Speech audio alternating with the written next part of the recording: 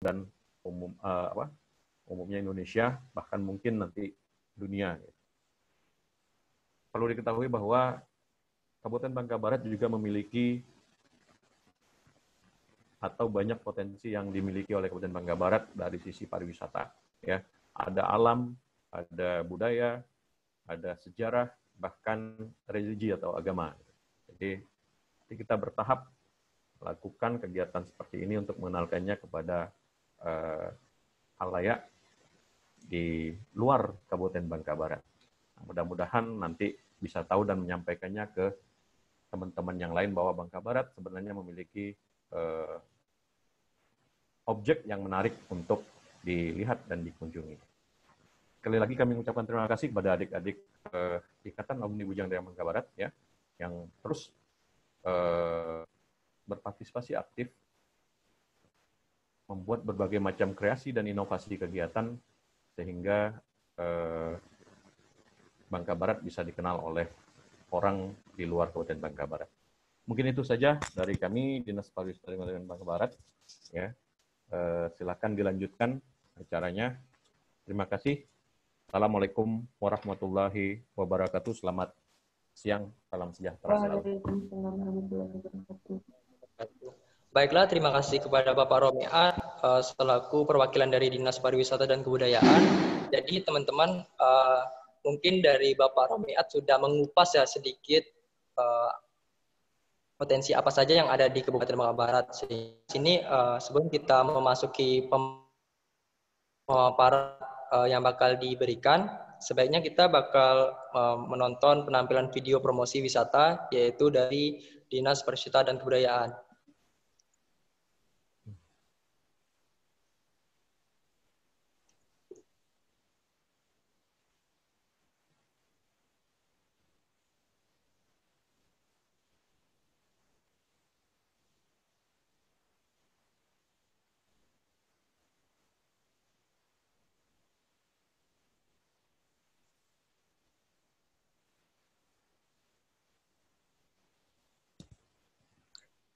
Nggak ada suara, Gung.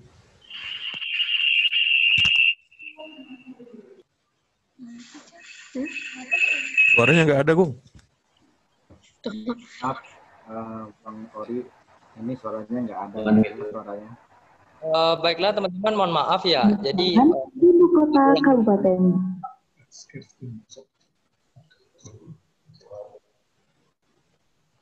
Oke, okay. uh, mungkin karena ada kendala dari video, jadi kita hmm. bakal mengulang dalam penayangan tersebut. Jadi inilah penampilan video promosi wisata oleh Dinas Pariwisata. Muntok merupakan ibu kota Kabupaten Bangka Barat, Provinsi Kepulauan Bangka Belitung. Sebuah kota kecil yang mempesona ini terletak di ujung barat Pulau Bangka. Muntok memiliki kekayaan sejarah, budaya, dan wisata yang beraneka ragam serta menakjubkan. Sesuai pasal 2 Peraturan Daerah Kabupaten Bangka Barat nomor 6 tahun 2010, hari jadi Kota Muntok ditetapkan pada tanggal 7 September 1734 Masehi.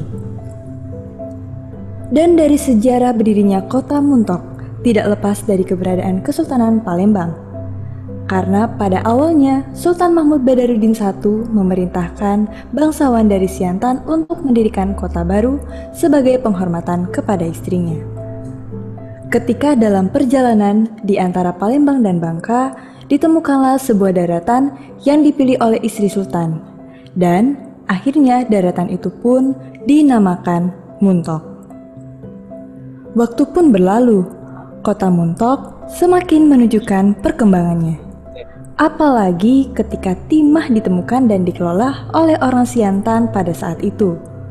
Muntok menjadi perhatian dunia, mempunyai peran penting serta menjadi jalur sutra perdagangan dunia pada saat itu. Dan hingga sekarang pun timah tetap menjadi salah satu komoditi utama dan menjadi taring macan dalam roda ekonomi di Pulau Bangka, khususnya kota sejarah ini. Bukti Muntok sebagai kota sejarah dapat dilihat dari beberapa peninggalan bangunan bersejarah yang masih terawat dengan sangat baik hingga saat ini. Salah satunya adalah dari kejadian ketika para tokoh pendiri bangsa Republik Indonesia diasingkan oleh pemerintah Hindia Belanda ke ujung barat Pulau Bangka ini. Dengan bangganya Muntok mencatat jejak rekam para pendiri Republik dan turut berpartisipasi dalam kedaulatan NKRI. Toleransi antar umat beragama adalah sebuah nilai yang terus tetap terjaga di kota Muntok. Terlihat dari Masjid Jami dan Kelenteng Kufuk Miao yang bersebelahan, merupakan sebuah simbol persatuan dan cerminan kehidupan yang harmonis antar masyarakat di kota ini. Keberagaman budaya yang dimiliki kota ini juga merupakan sebuah kekayaan yang tak ternilai harganya. Seakan semuanya saling bertautan, membentuk sebuah jalinan dan memberikan kesan yang indah serta mendalam bagi siapa pun yang turut di dalamnya. Membuat kota ini menjadi begitu memukau dan takkan lekang dari kenangan. Muntok bak mestika yang tak pudar oleh kikisan zaman. Tetap berkilau dalam ingatan. Bak negeri Suralaya yang indah dan syarat akan berbagai cita rasa yang memanjakan selera. Kota ini akan terus kugaungkan, akan terus kuceritakan kebesarannya. Kusampaikan akan pesonanya dan akan kujaga dengan sepenuh jiwa. Karena ku bangga menjadi bagian darinya.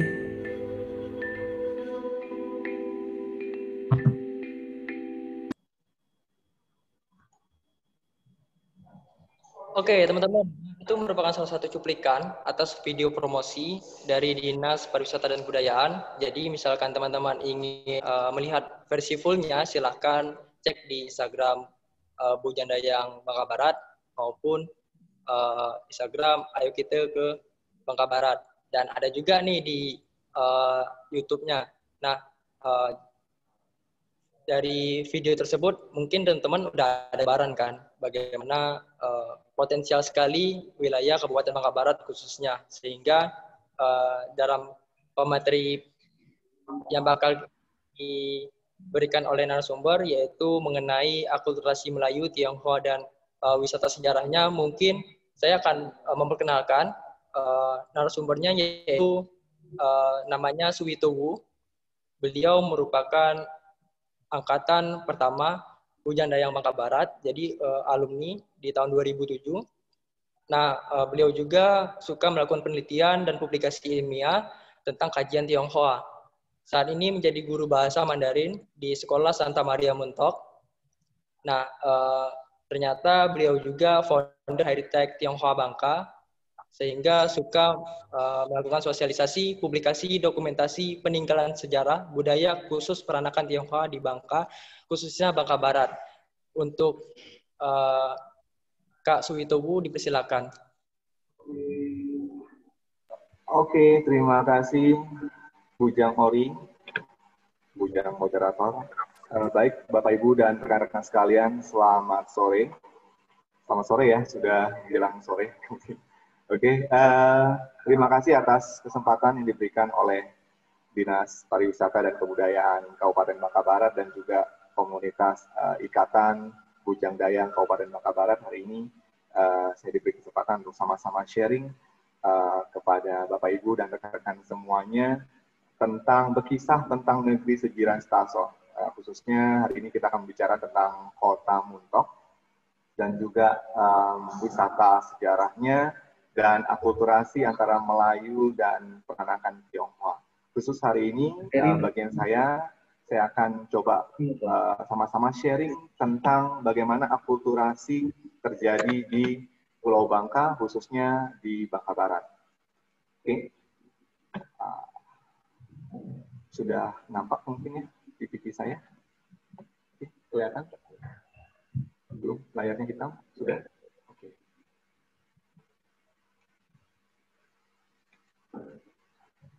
Sudah kelihatan? Iya. Oke. Uh, baiklah, hari ini uh, judul presentasi saya, saya beri nama Jejak Peranakan Tionghoa di Pulau Bangka, berujung pada akulturasi budaya. Jadi sebelum kita melihat akulturasi antara orang Tionghoa dan Melayu yang ada di Pulau Bangka yang sama-sama membangun Pulau Bangka ini, kita coba lihat dulu, kita flashback dulu ke belakang apa sih latar belakang sejarahnya. Nah, eh, Bapak Ibu dan rekan-rekan sekalian, di sini saya mau numpang nanya, mungkin boleh coba dibantukan sesaat untuk menghidupkan uh, tombol mute-nya menjadi unmute. Apa yang terlintas di benak Anda jika mendengar kata bangka? Boleh disuarakan? Timah. Timah, terus ada lagi yang lain? Kota sejarah. Kota sejarah, ada yang lain mungkin ya? Indah. Indah, oke ada yang lain? Ada yang lain mungkin? Bangka. Bangka. Apa di apa yang ada di benak Bapak Ibu sekalian?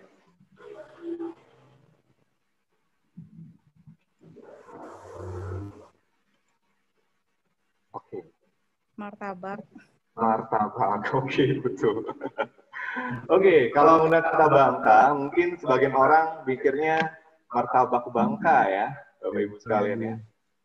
Tapi di saya sudah nampak ada kue martabak di layarnya. Ada? Belum. Oke. Saya coba mau mancing-mancing ini, mungkin ada yang belum makan siang. Sudah. Sudah. Sudah ada, sudah ada martabaknya? Sudah ya, oke. Okay. Dan martabak di Bangka, kalau di luar mungkin di Jakarta ataupun di luar Bangka sebutnya martabak Bangka ya. Nah, uh, ini martabak manis, berbeda dengan martabak yang telur itu ya. Nah, kalau di Bangka sendiri, martabak ini terkenalnya dengan nama, yuk apa? Koklopan. Di sini sebagian besar orang Bangka tahu ya dengan koklopan ya. Nah, koklopan ini dari bahasa Tionghoa yang berarti hoklo atau pulau.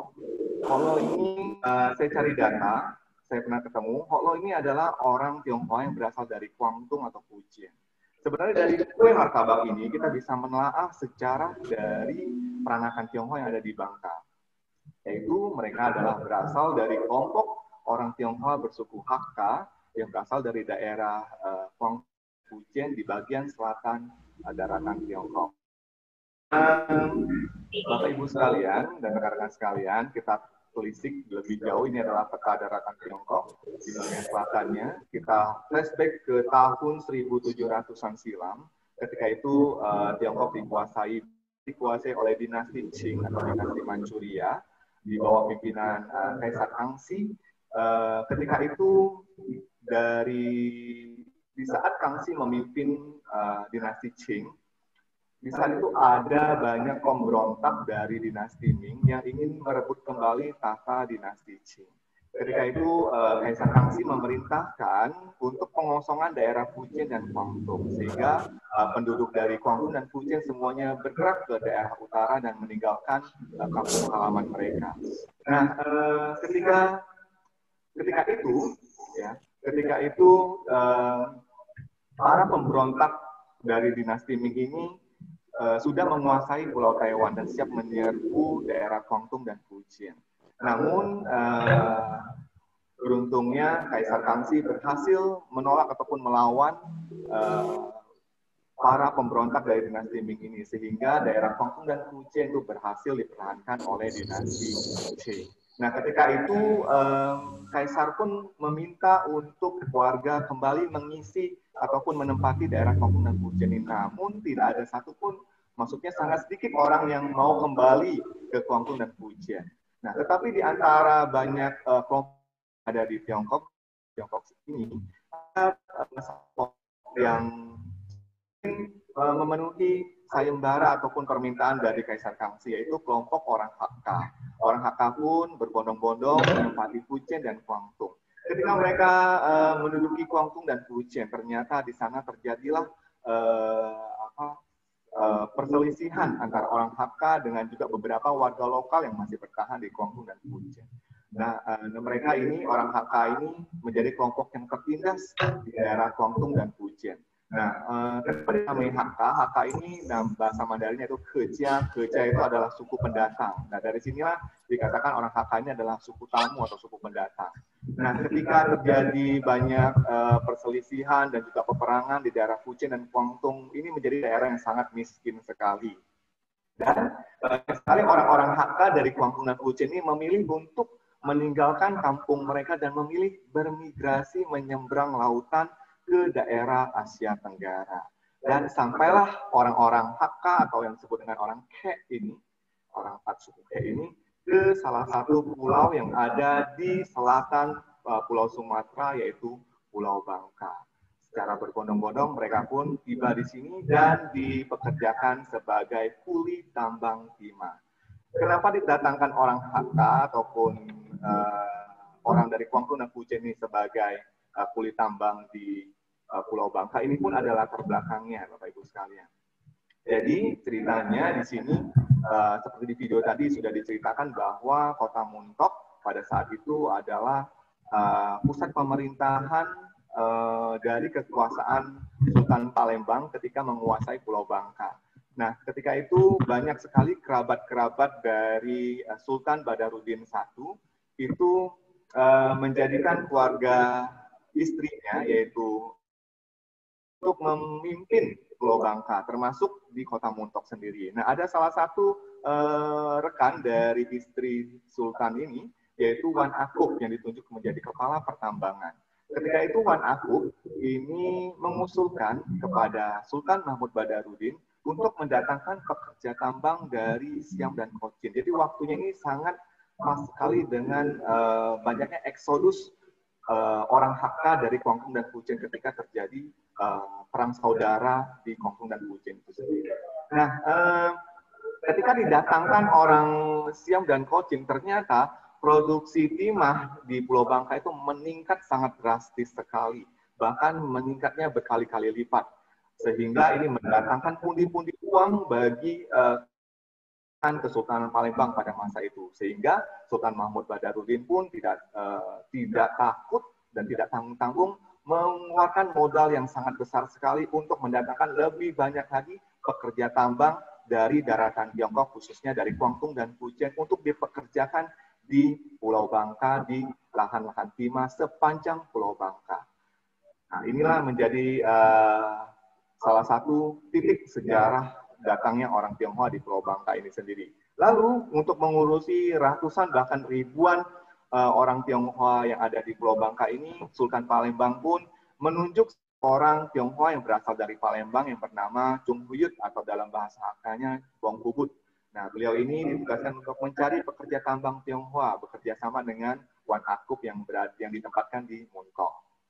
Nah, uh, menurut tradisi penambangan Tionghoa pertama ini terjadi uh, terdapat di dekat Muntok, yaitu uh, Belo. Nama daerahnya Belo. Ini saya kutip dari Horseville tahun 1848 dalam buku uh, Mary F. Somers. Dan uh, ketika itu sudah ada pemimpin Tionghoa yang berasal dari kalangan orang Hakka, yaitu bernama Bun Asing atau Un Asing.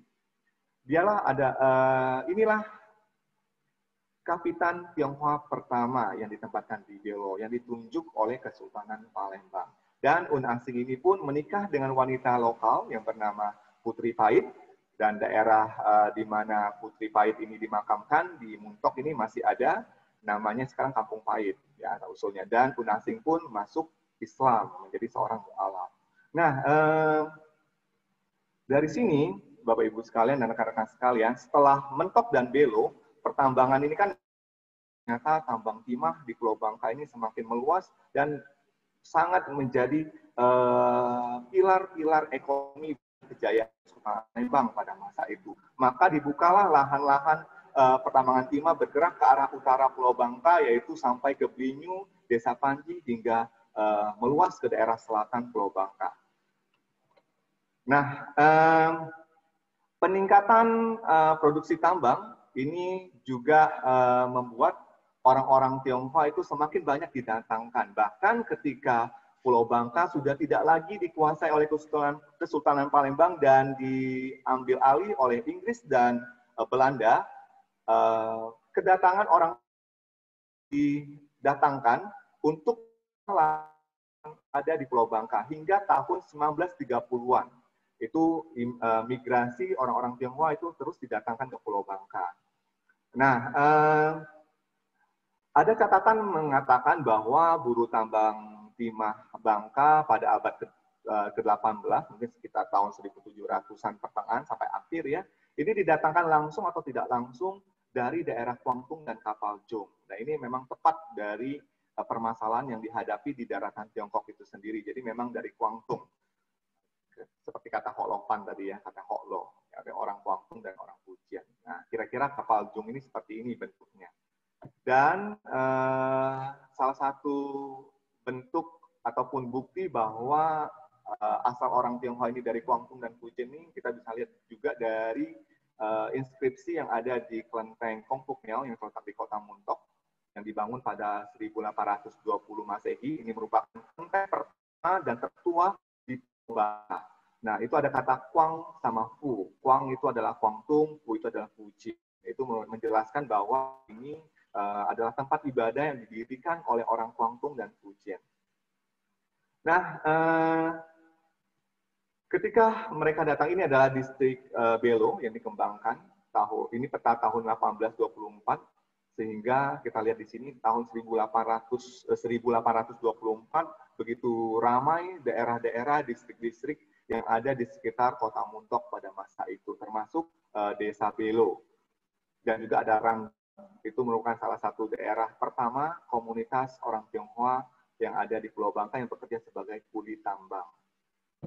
Nah, eh, salah satu peninggalan yang masih ada eh, yaitu di tepi Sungai Belo ada nama Tepekong Belo. Sayang sekali eh, bangunan ini hanya sudah tersisa bangunan tuanya saja, sudah tidak ada aktivitas lagi, hanya tinggal puing-puing demikian.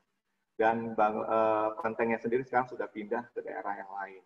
Karena memang eh, komunitas Tionghoa sudah mulai meninggalkan daerah tersebut dan memilih untuk bermigrasi ke pusat kota dan daerah-daerah lain seperti Pangkal Pinang, Sungai Liat, dan daerah-daerah lain di, yang ada di Pulau Bangka. Nah, uh, ini adalah uh, grafis tentang penduduk Tiongkok yang ada di Bangka.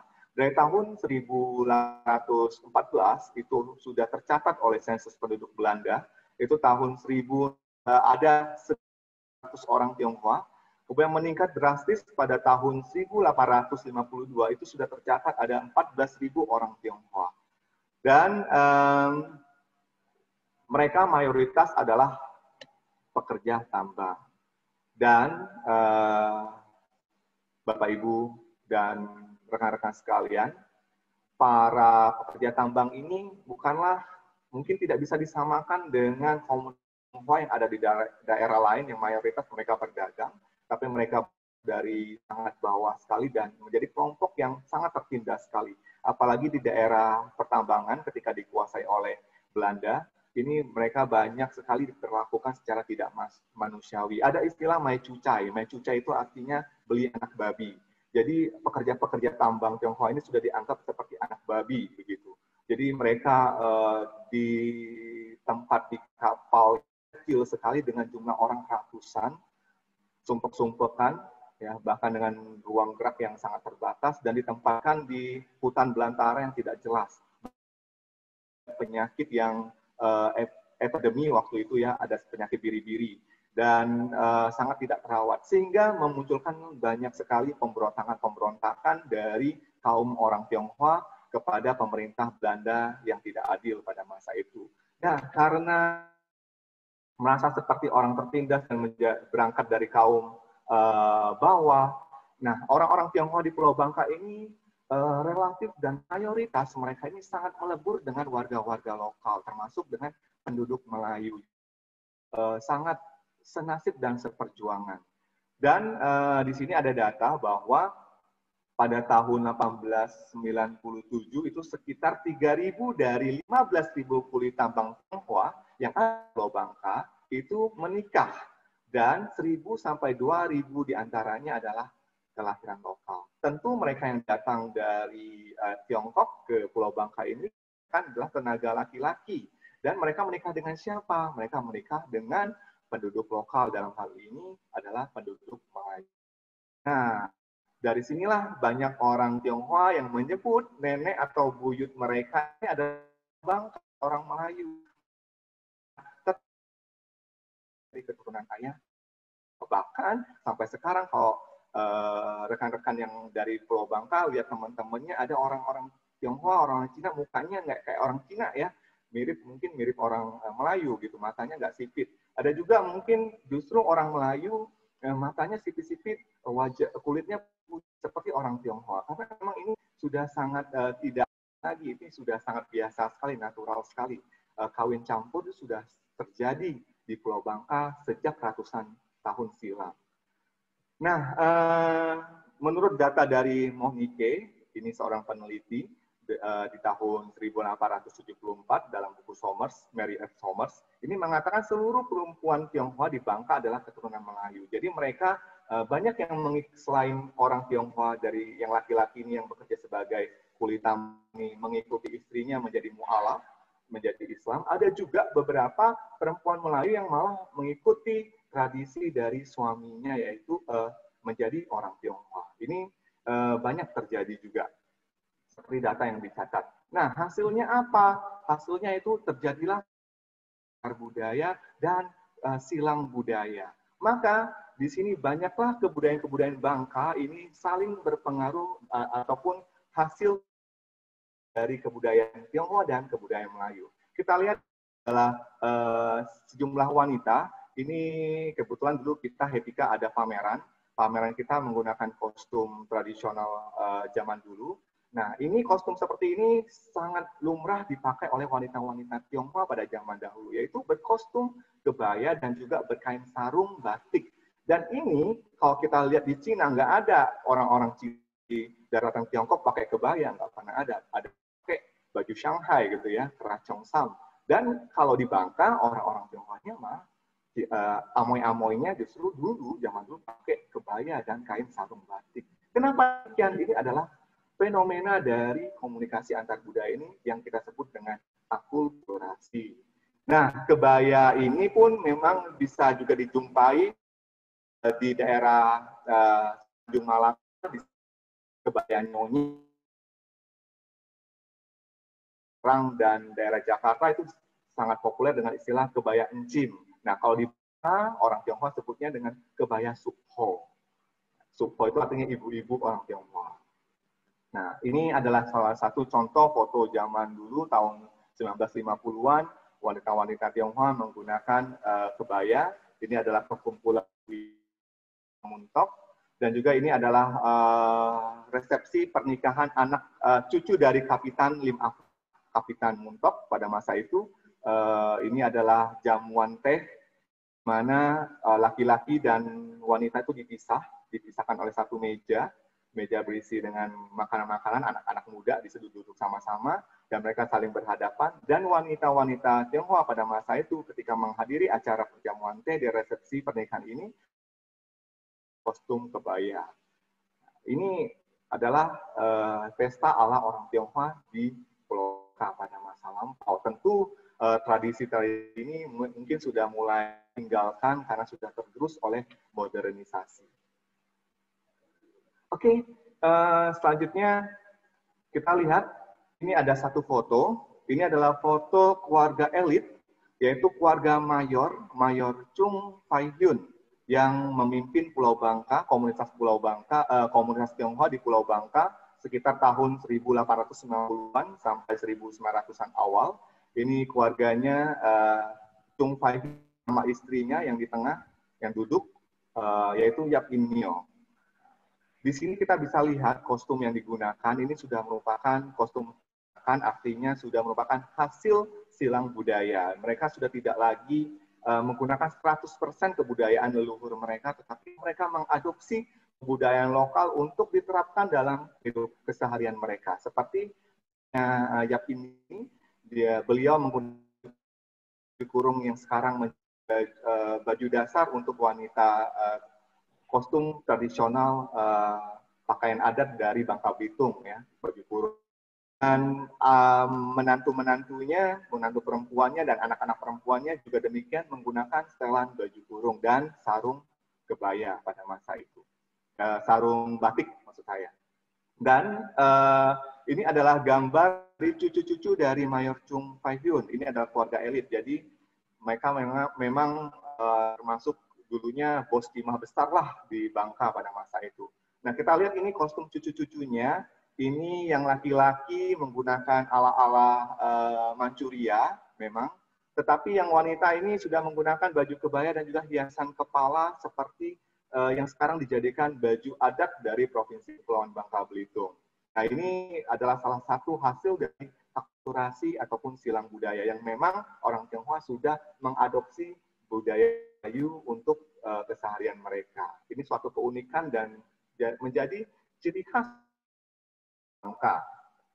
Nah, uh, apalagi uh, selain tadi kita kita coba flashback lagi Nah, ini ada satu jargon, yaitu Tongin Panin Jitjong. Ini adalah salah satu semboyan ataupun jargon yang sangat terkenal sekali di Pulau Bangka yang menggambarkan kerukunan ataupun keharmonisan persatuan antara orang Tionghoa dan Melayu di Pulau Bangka. Ada yang tahu arti Tongin Panin Jitjong? Di bawah itu bukan ya, senapit perjuangan, cuma makna yang saya uh, munculkan saja. Tapi arti sesungguhnya bukan senapit perjuangan. Ada yang tahu mungkin Tongin Panin Jitjong apa artinya? Daripada dengerin saya mulu ngomong gitu kan lebih baik.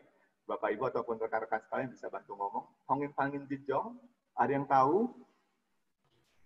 Cina Melayu sama. Iya betul sekali sih. Cina dan Melayu sama artinya. Tionghoa dan Melayu sama. Sama apa? Sama nasibnya sama perjuangannya.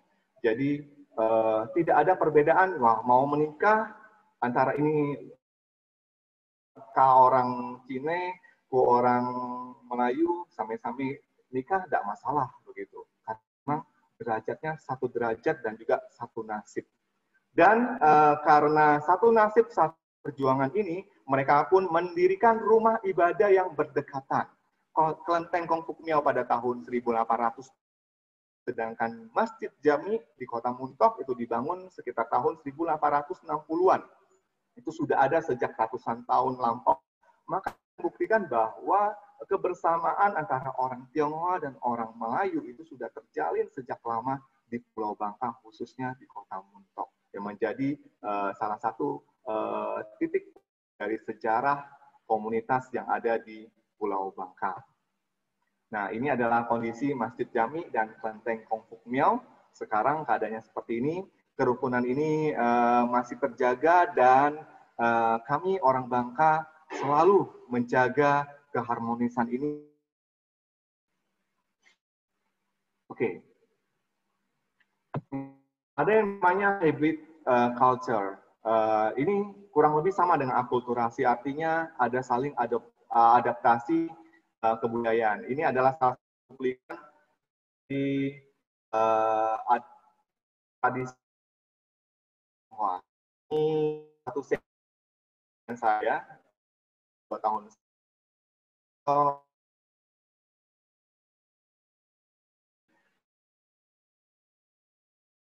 beberapa kampung wah yang ada di Bangka Barat seperti Kunti, kemudian juga di Tanjung Ular, di Desa Pelangas, Simpang Tritip.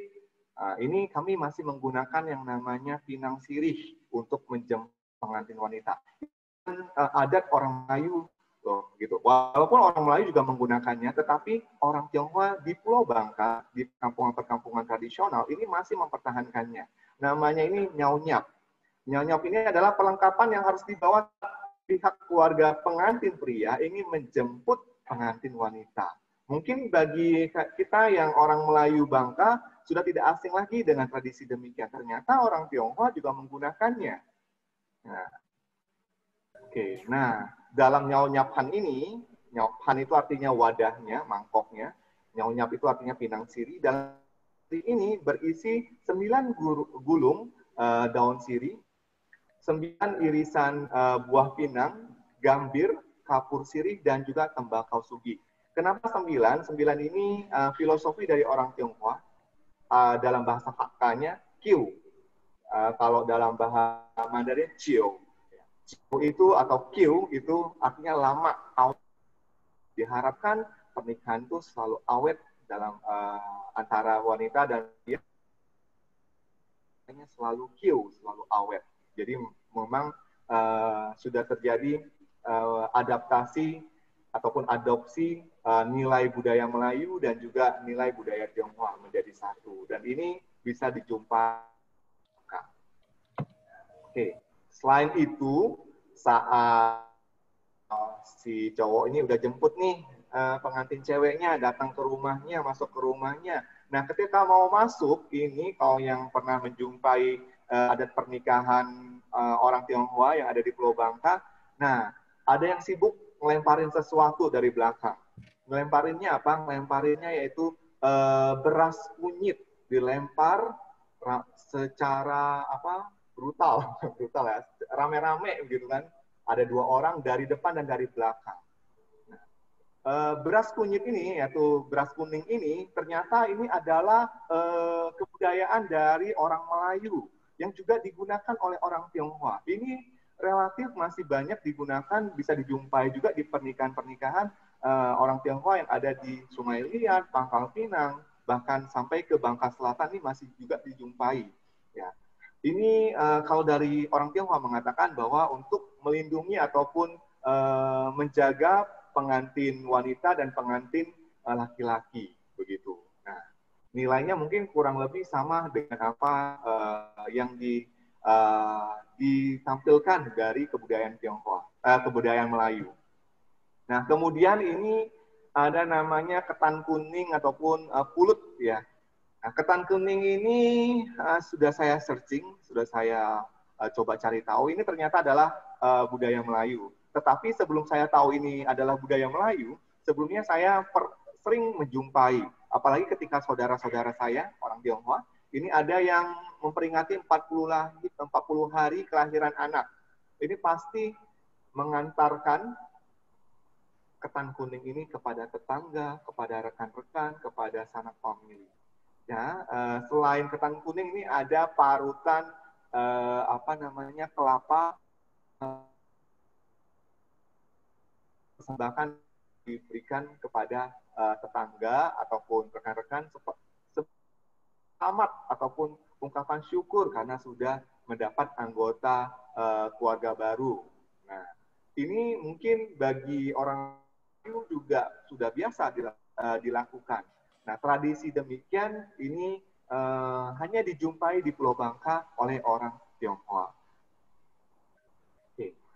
Selanjutnya kita coba lihat. Selain itu ada juga beberapa uh, lagi akulturasi yang terjadi antara komunitas Tionghoa dan Melayu yaitu dalam bahasa Bangka. Jadi istilah-istilah bahasa Hakka, bahasa Ke, itu dalam bahasa Bangka ini masih banyak bisa kita jumpai. Nah, coba saya tes yang orang Bangka ini, mana orang Bangka? Tahu nggak apa artinya taipau? Wih, taipau kau nih, kayak gitu kan? Sombong. Apa itu? Iya, betul sekali, sombong. Nah, sombong sekali. Iya, betul sekali. Ini taipau itu artinya sombong. Nah, ini ada dari bahasa Hakka, taipau. Taipau itu artinya besar uh, gede laga, besar besar laga, besar besar diri gitu, besar omongan gitu kan seperti ngomongnya ditinggi-tinggiin gitu. Nah, ini menjadi salah satu istilah yang sudah tidak asing lagi bagi orang Bangka, mau orang Tionghoa maupun orang Melayu. Kemudian ada kolong. Kalau kalian ke Jakarta, itu kolong jembatan ya. Hmm. Anak di kolong jembatan gitu. Tapi kalau di Bangka itu adalah berenang. Buat berenang yaitu bekas galian galian uh, Nah, kolong itu ternyata Kutlong itu artinya lubang. Lubang yang menganggur atau lubang yang dibiarkan, terbengkalai, disebut dengan kutlong. Nah, ini serap masyarakat dalam bahasa Nah, kemudian juga ada istilah camui. Camui mungkin eh, nggak uh, asing lagi, apalagi yang tinggal di daerah dekat TI ya. Bekas uh, bekas tambang, uh, lubang-lubang itu disebut dengan camui, artinya cam sama mui. Mui itu juga sama, lubang juga artinya. Ada istilah juga kalau yang eh, dekat dengan lokasi pertambangan, istilah sakan. Sakan itu artinya eh, alat untuk mencuci timah. Sa itu timah, kantuk ring. Ya, jadi untuk mengeringkan timah begitu. Nah, ini adalah istilah-istilah yang sudah sangat populer sekali bagi uh, orang Bangka. Kemudian ada kata soy. Mungkin Sial. ada beberapa yang masih asing. Ada yang Sial. tahu di sini soy itu apa? Sial.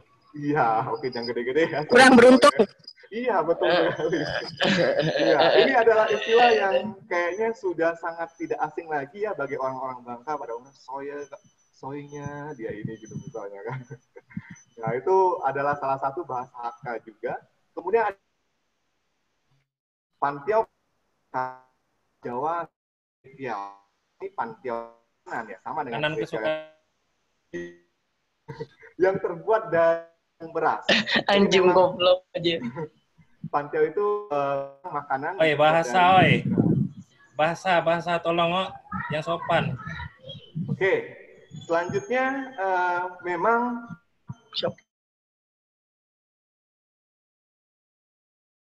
di sini akulturasi, ukuran budaya itu sudah terjadi eh,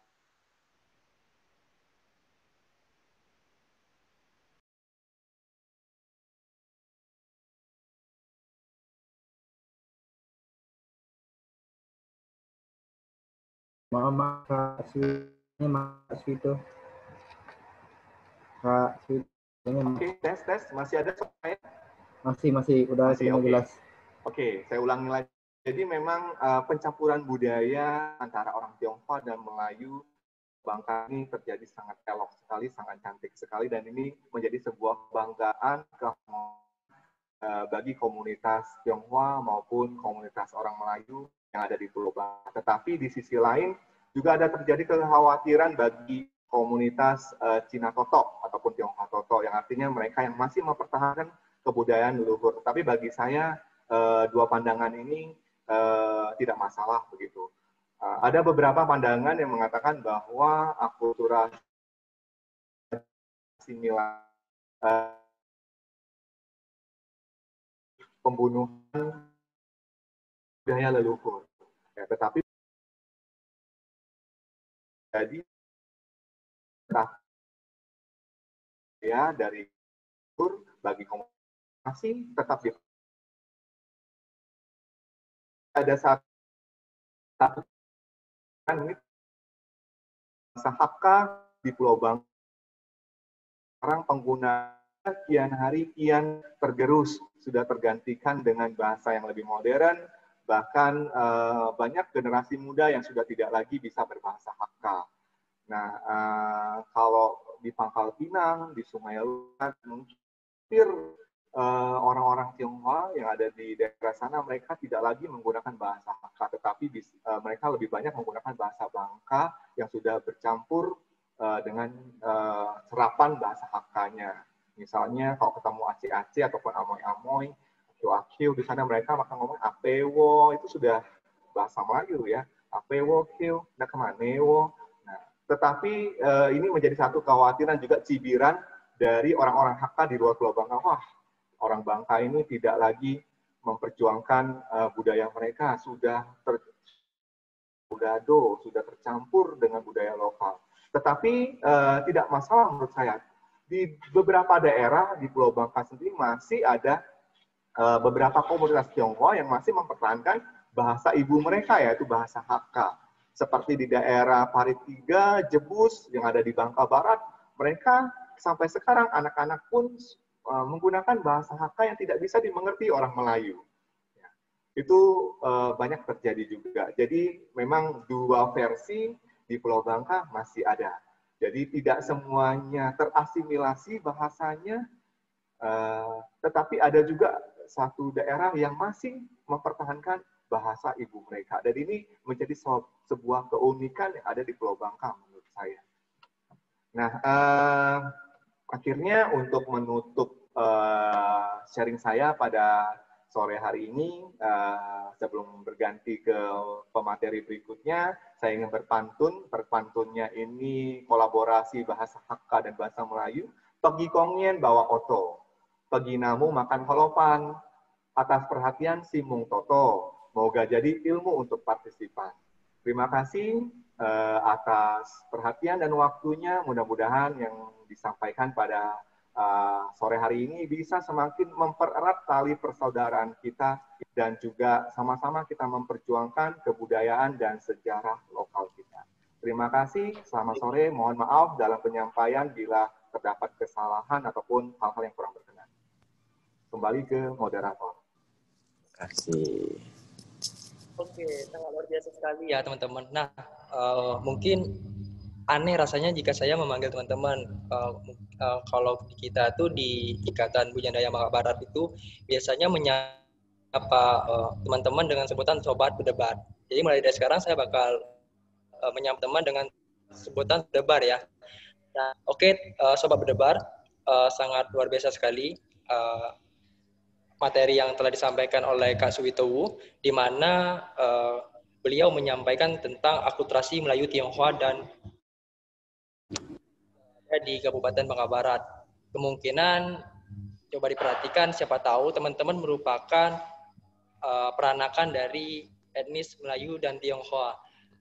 Uh, uh, walaupun memang dari sejarahnya sangat panjang sekali ya teman-teman dari awalnya uh, etnis Tionghoa datang ke Bangka dengan apa namanya yang dibawa oleh uh, masa penjajahan dengan iming-imingan untuk pertambangan hingga pun sekarang kita udah bercampur dalam kebudayaan sehingga disebut akulturasi budaya Melayu dan uh, Tionghoa.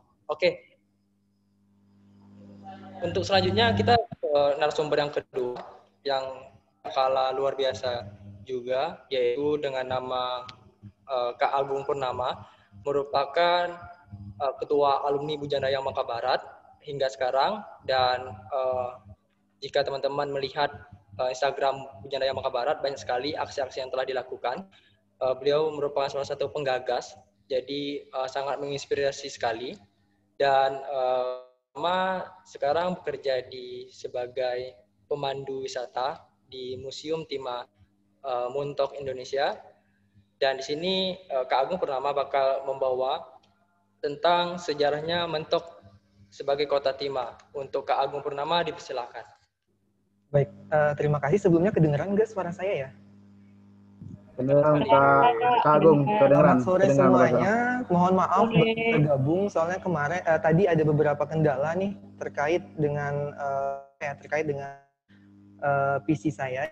Memang uh, akhirnya harus berpindah aplikasi kan uh,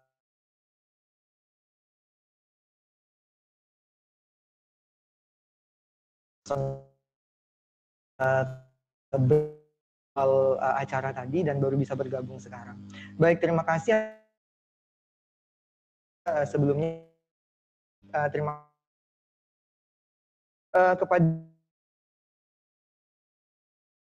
hal ini di banyak telah menyetujui dan uh, membantu kami dari Bujang Dayang Kabupaten Bangka Barat untuk bisa melaksanakan kegiatan webinar yang kami beri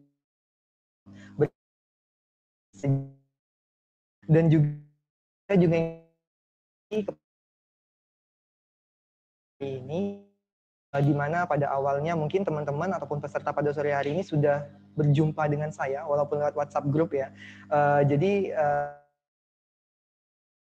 serta dari empat memang 10 peserta dan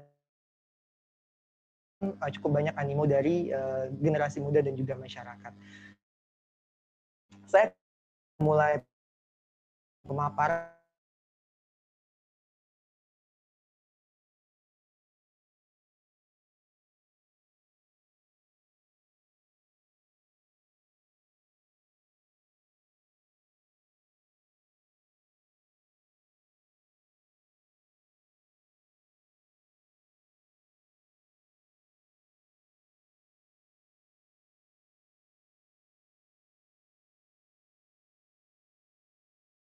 sejarah dari Provinsi Kepulauan Bangka Belitung. Sedikit saja saya akan mereview karena ada beberapa peserta di uh, sini yang memang berasal dari luar. Ada yang berasal dari luar daerah Pulau Bangka. Jadi saya akan sedikit mengenalkan bahwa Provinsi Kepulauan Bangka Belitung ini petanya ada tertan, tertan, uh, sudah terpapar pada layar monitor semuanya. Jadi Provinsi Kepulauan Bangka Belitung merupakan sebuah provinsi yang terdiri dari dua pulau besar yaitu Pulau Bangka dan juga Pulau Belitung. Di mana Pulau Bangka terdiri dari lima kabupaten kota dan Pulau Belitung terdiri dari dua kabupaten kota. Provinsi Kepulauan Bangka Belitung ini terbentuk pada tahun pada tanggal 21 November tahun 2000. Jadi sebelum tahun 2000 Provinsi Kepulauan Bangka Belitung ini bergabung dengan Provinsi Sumatera Selatan. Baru setelah itu Provinsi Kepulauan Bangka Belitung, Bangka Belitung berdiri sendiri menjadi sebuah provinsi kepulauan dan dikenal dengan timah ataupun penambangan timahnya. Kemudian Bujang Dayang Bangka Barat sendiri, kita merupakan kabupaten yang berasal dari pemekaran Kabupaten Bangka. Awalnya, Provinsi Kepulauan Bangka Belitung di awal terbentuk hanya terdiri dari tiga kabupaten kota, yaitu Kota Pangkal Pinang, Kabupaten Bangka, dan juga Kabupaten Belitung. Kemudian di tahun 2003 barulah terjadi pemekaran. Terbentuklah Kabupaten Bangka Barat, Kabupaten Bangka Selatan, dan Kabupaten Bangka Tengah. Ini merupakan pemekaran dari Kabupaten Bangka. Dan kota Pangkal Pinang ini menjadi ibu kota provinsi. Lalu Kabupaten Belitung ini terpecah menjadi dua, yaitu Belitung Timur dan juga Kabupaten Belitung. Lanjut.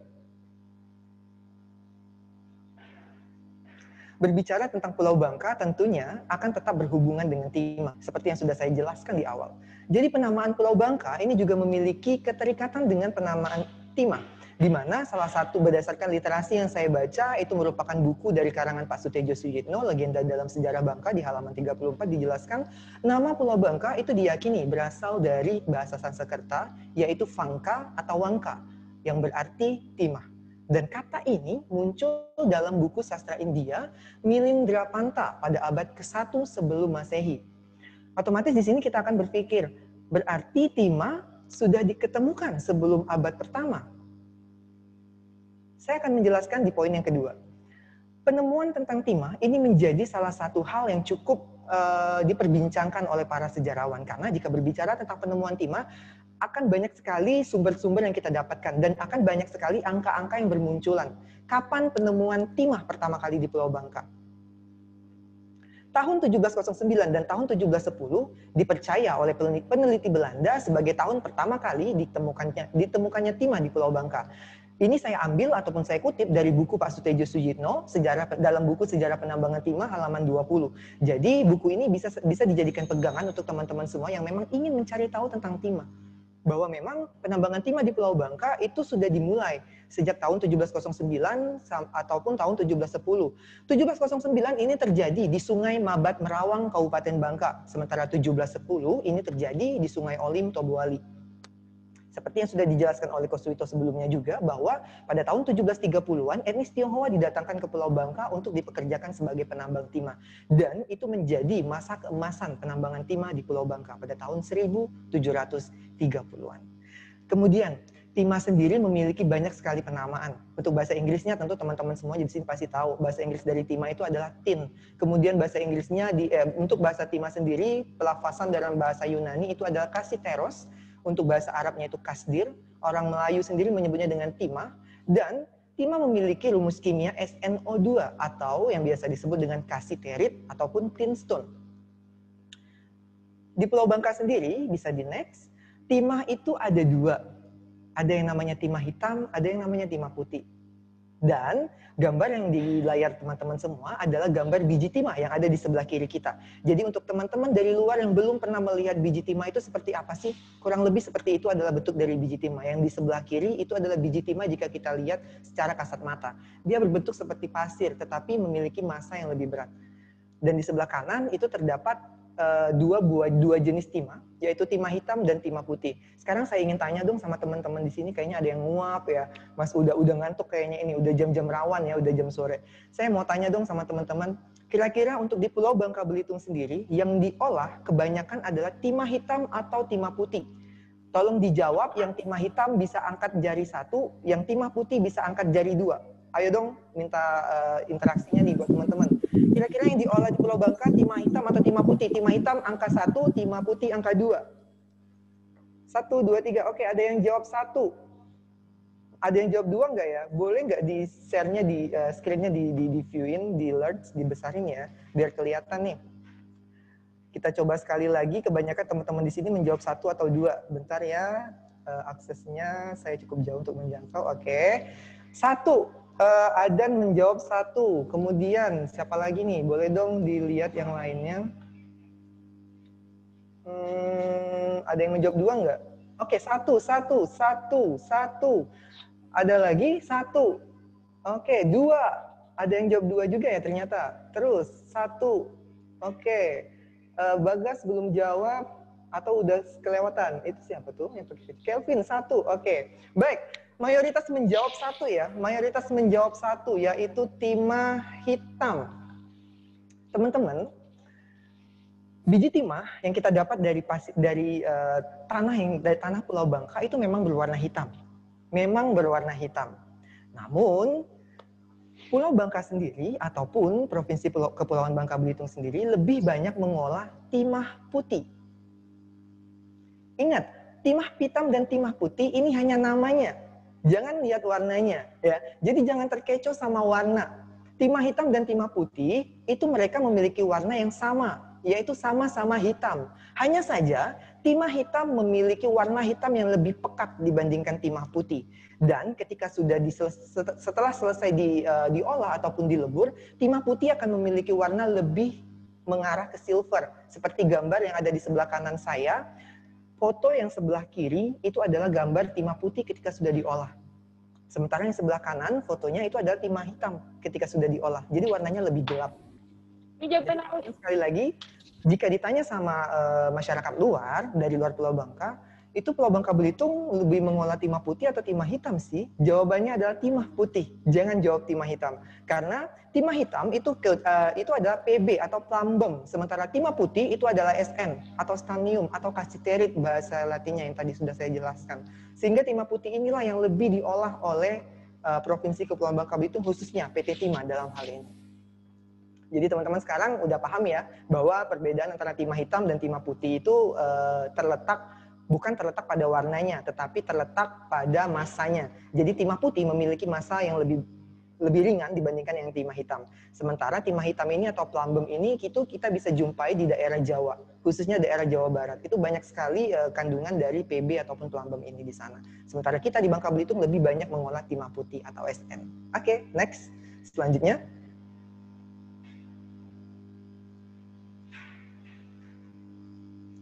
Oke, sekarang kita beralih ke fungsi timah. Teman-teman pasti sebagian besar udah pada tahu ya fungsi timah itu buat apa. Jadi hampir 50% timah digunakan untuk solder elektronik. HP teman-teman itu ada timahnya loh. Jadi setiap hari kalau teman-teman bawa timah, eh maaf, kalau teman-teman bawa HP, artinya teman-teman bawa timah. Ke mana pun teman-teman berada, berarti teman-teman bawa timah selalu. Itu artinya dengan tidak langsung, saya, kalian, dan juga teman-teman yang ada di luar sana, ataupun orang-orang yang ada di luar sana, kita terhubung dengan Pulau Bangka sebagai penghasil timah. Karena di smartphone kalian itu ada kandungan mineral dari pulau kami. Di smartphone kalian itulah yang di, di smartphone kalian itu terkandung uh, biji timah dari Pulau Bangka. Karena berdasarkan beberapa data yang saya dapatkan dari PT Timah dan juga dari Museum Timah Indonesia, kebutuhan timah solder elektronik itu kebanyakan timahnya dihasilkan dari timah Pulau Bangka.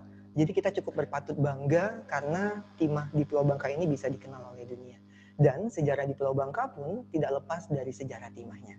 Oke, namun teman-teman semua harus cukup uh, kita juga harus cukup bijak dalam menggunakan uh, me, me, apa ya memandang hal ini sehingga nantinya keberlangsungan dari negeri kami ini juga berlangs juga juga sedikit banyak ada di tangan teman-teman semua yang berada di luar sana. Jadi mohon untuk bisa tetap menjaga kelestarian lingkungan karena kita tahu sendiri bagaimana dampak yang ditimbulkan dari penambangan timah.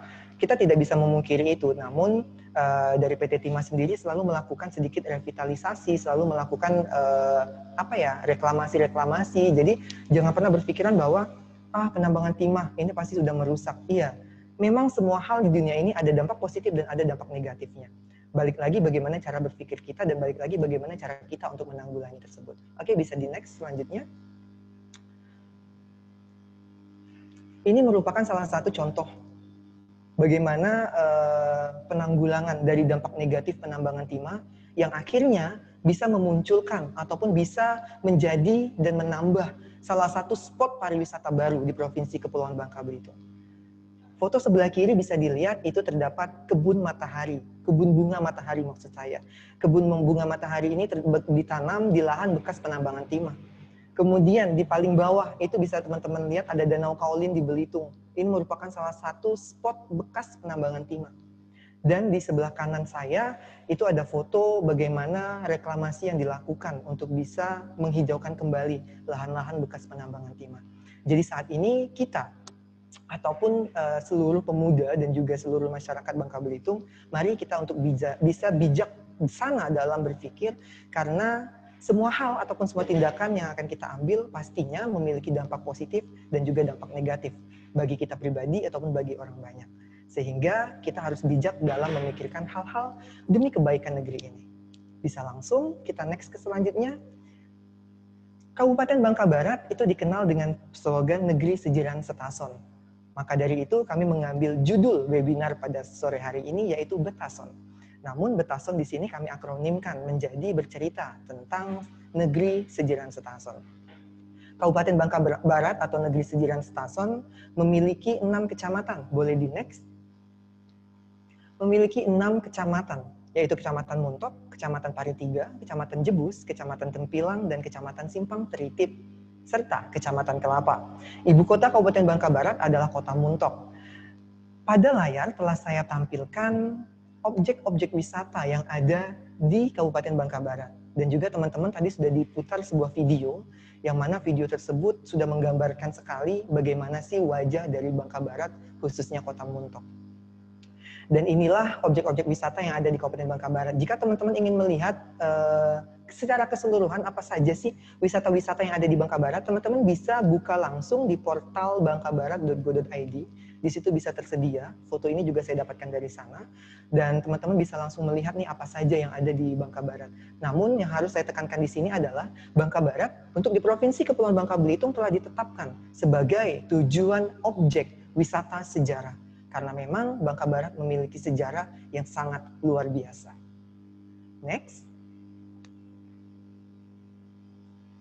Berbicara tentang Bangka Barat, tentunya kita harus kembali ataupun kita harus lebih menspesifikas, menspesifikasikan lagi menjadi lebih spesifik yaitu kita berbicara tentang Mentok, ibu kota dari Provinsi Kepulauan Bangka Belitung.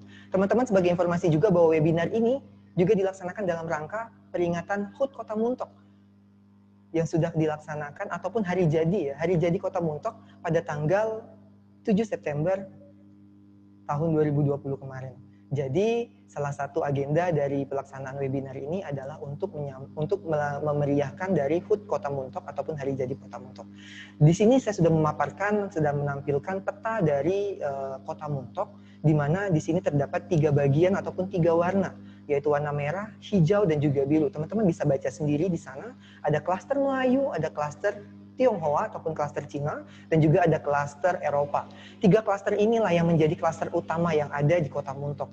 Tiga klaster inilah yang menyusun kota Muntok menjadi sebuah kota yang sangat-sangat indah, sebuah kota yang sangat-sangat harmoni di mana kerukunan umat beragama benar-benar tercemin di sini. Klaster Eropa menjadi klaster atas atau upper cluster sementara klaster uh, Melayu dan juga klaster Cina berada di lower cluster atau klaster bawah.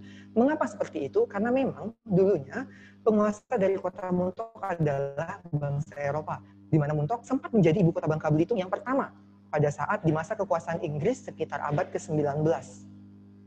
Nama Mentok diganti menjadi nama diganti menjadi Minto pada saat itu. Minto berasal dari nama jenderal Inggris yang pada saat itu berkuasa yaitu Lord Minto. Jadi jauh sebelum kota Pangkal Pinang menjadi ibu kota provinsi Bangka Belitung, Mentok sudah pertama kali menjadi ibu kota provinsi Bangka Belitung pada saat masa kekuasaan Inggris.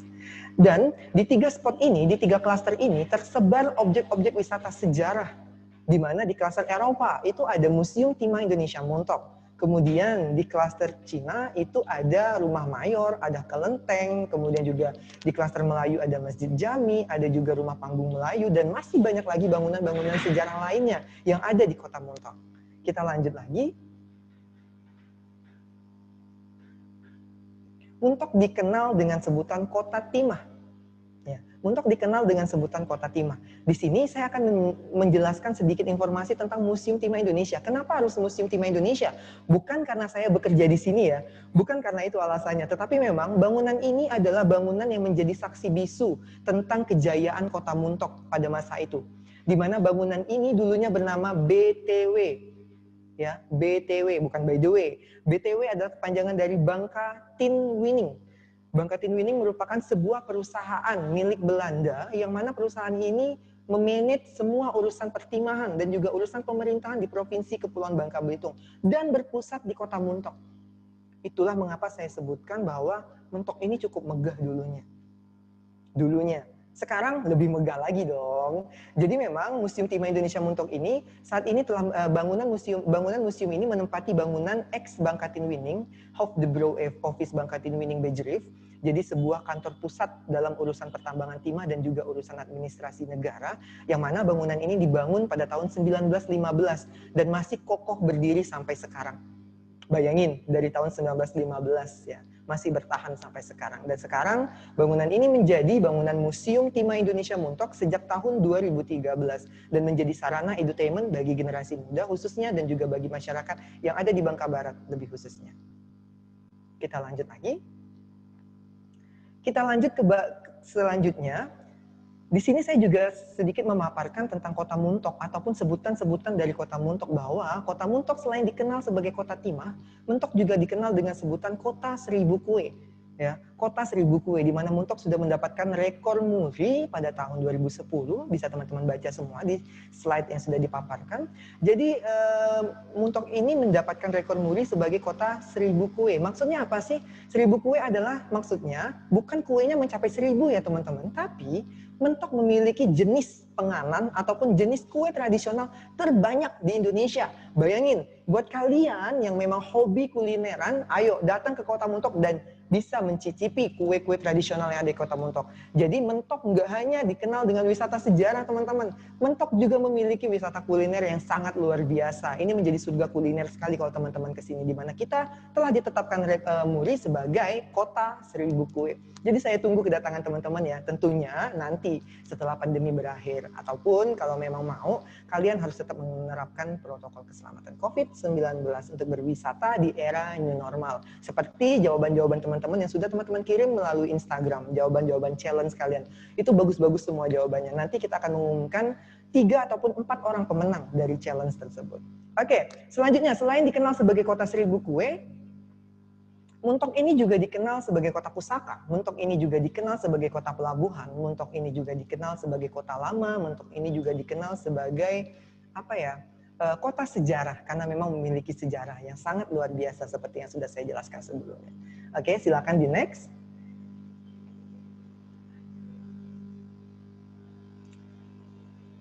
Di sini kita saya akan menjelaskan berikutnya objek wisata sejarah yang ada di Kota Muntok yaitu Pesanggrahan Muntok atau yang dikenal dengan sebutan Wisma Ranggam. Teman-teman, sebelumnya di Kota Muntok terdapat sebuah peristiwa yaitu pengasingan Bung Karno. Dan bangunan ini dijadikan sebagai tempat pengasingan. Namun jauh sebelum bangunan ini digunakan sebagai tempat pengasingan, bangunan ini adalah milik BTW atau Bangka Tinwining. Jadi ini merupakan aset dari BTW. Yang mana dulunya ini digunakan sebagai tempat peristirahatan dari karyawan Bangka Tinwining. Jadi secara tidak langsung Timah juga memberikan uh, apa ya sedikit dampak positif nih. Dampak positifnya apa sih? Ya memberikan bangunan-bangunan bersejarah yang bisa dijadikan sebagai sebuah spot ataupun objek wisata sejarah di kota Muntok khususnya.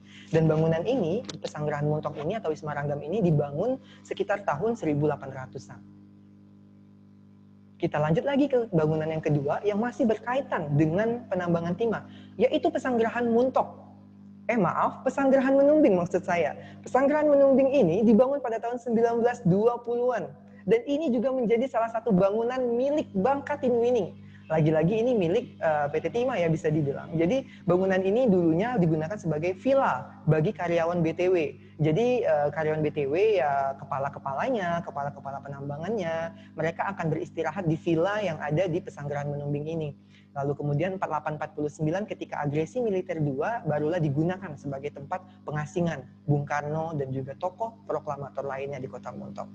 Jadi teman-teman jika berbicara sejarah, Montok ini benar-benar sangat memiliki sejarah yang sangat kuat, sangat luar biasa sekali. Kita memiliki sejarah lokal yang sangat kuat, yaitu tentang pembentukan kota Montok yang berkaitan erat dengan Kesultanan Palembang, Kemudian kita memiliki sejarah nasional di mana tentang pengasingan tokoh proklamator dan juga pemimpin pertama Republik Indonesia Bapak Insinyur Soekarno yang pernah diasingkan di sini dan juga sejarah internasional yaitu tentang Perang Dunia Kedua yang pernah terjadi di Muntok di mana ini juga menjadi salah satu wisata penunjang di Kabupaten Bangka Barat, khususnya di Kota Muntok. Setiap tahun kita selalu kedatangan tamu-tamu dari Australia yang memang memiliki keterkaitan dengan sejarah pengasing, dengan sejarah tragedi Perang Dunia Kedua di sini.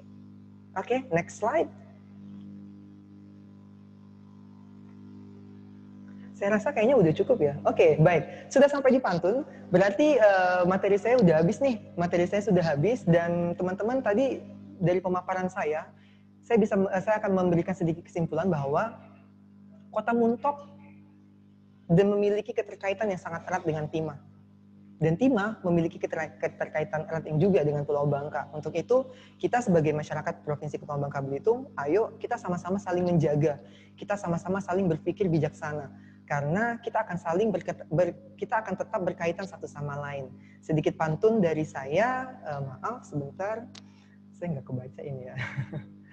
saya ubah dulu uh, screen view-nya. Baik.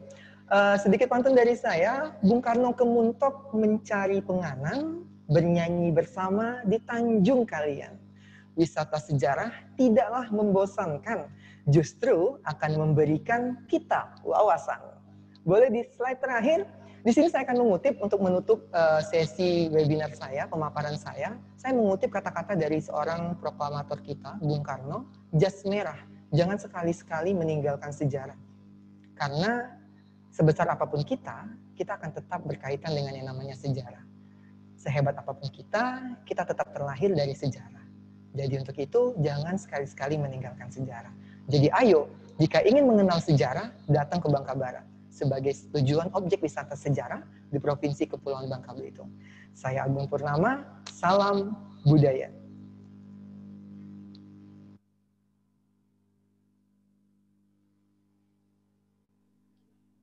Oke, uh, jadi sobat berdebar sangat luar biasa sekali ya pemaparan materi hmm. dari Kak Agung pertama, uh, di mana teman-teman saya ingatkan kembali uh, setelah kita webinar pada uh, acara kali ini, teman-teman bakal uh, diarahkan untuk mengikuti kuis menggunakan aplikasi Quizy. Jadi ntar di dalam uh, aplikasi tersebut uh, bakal dilihat nih wawasan teman-teman ketika mengikuti webinar ini. Um, mungkin saya lihat ada yang memang benar-benar memperhatikan, ada yang apa namanya, yang hanya sekedar uh, saya nggak tahu nih ada yang videonya ditampilkan atau ada yang enggak juga. Sehingga uh, dengan adanya aplikasi Quizy kita bisa dari panitia melihat teman-teman uh, memahami nggak apa yang telah disampaikan oleh narasumber. Oke, okay. uh, jadi teman-teman uh, setelah kita mendengarkan dua materi dari narasumber yang sangat luar biasa sekali yaitu Kak Suwito Wu uh, dan juga Kak Agung Penama. Saya di sini selaku moderator ingin membuka sesi tanya jawab.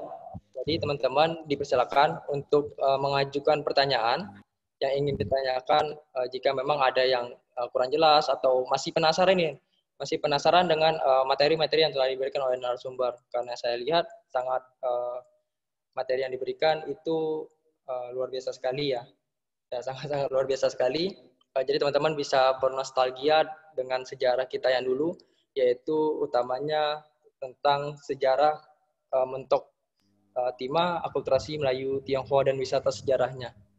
Oke, mungkin uh, dipersilakan jika teman-teman ingin bertanya untuk memperkenalkan diri dulu, terus uh, memberikan pertanyaannya kepada narasumber yang mana. Boleh keduanya, boleh satu aja, Iya, mungkin Kak Oril bisa di open mic nanti ya buat yang bertanya, bisa di raise hand. Ya. Uh, boleh juga buat teman-teman yang ingin bertanya untuk menanyakan secara langsung open mic. Dan jangan lupa ya videonya ditampilin.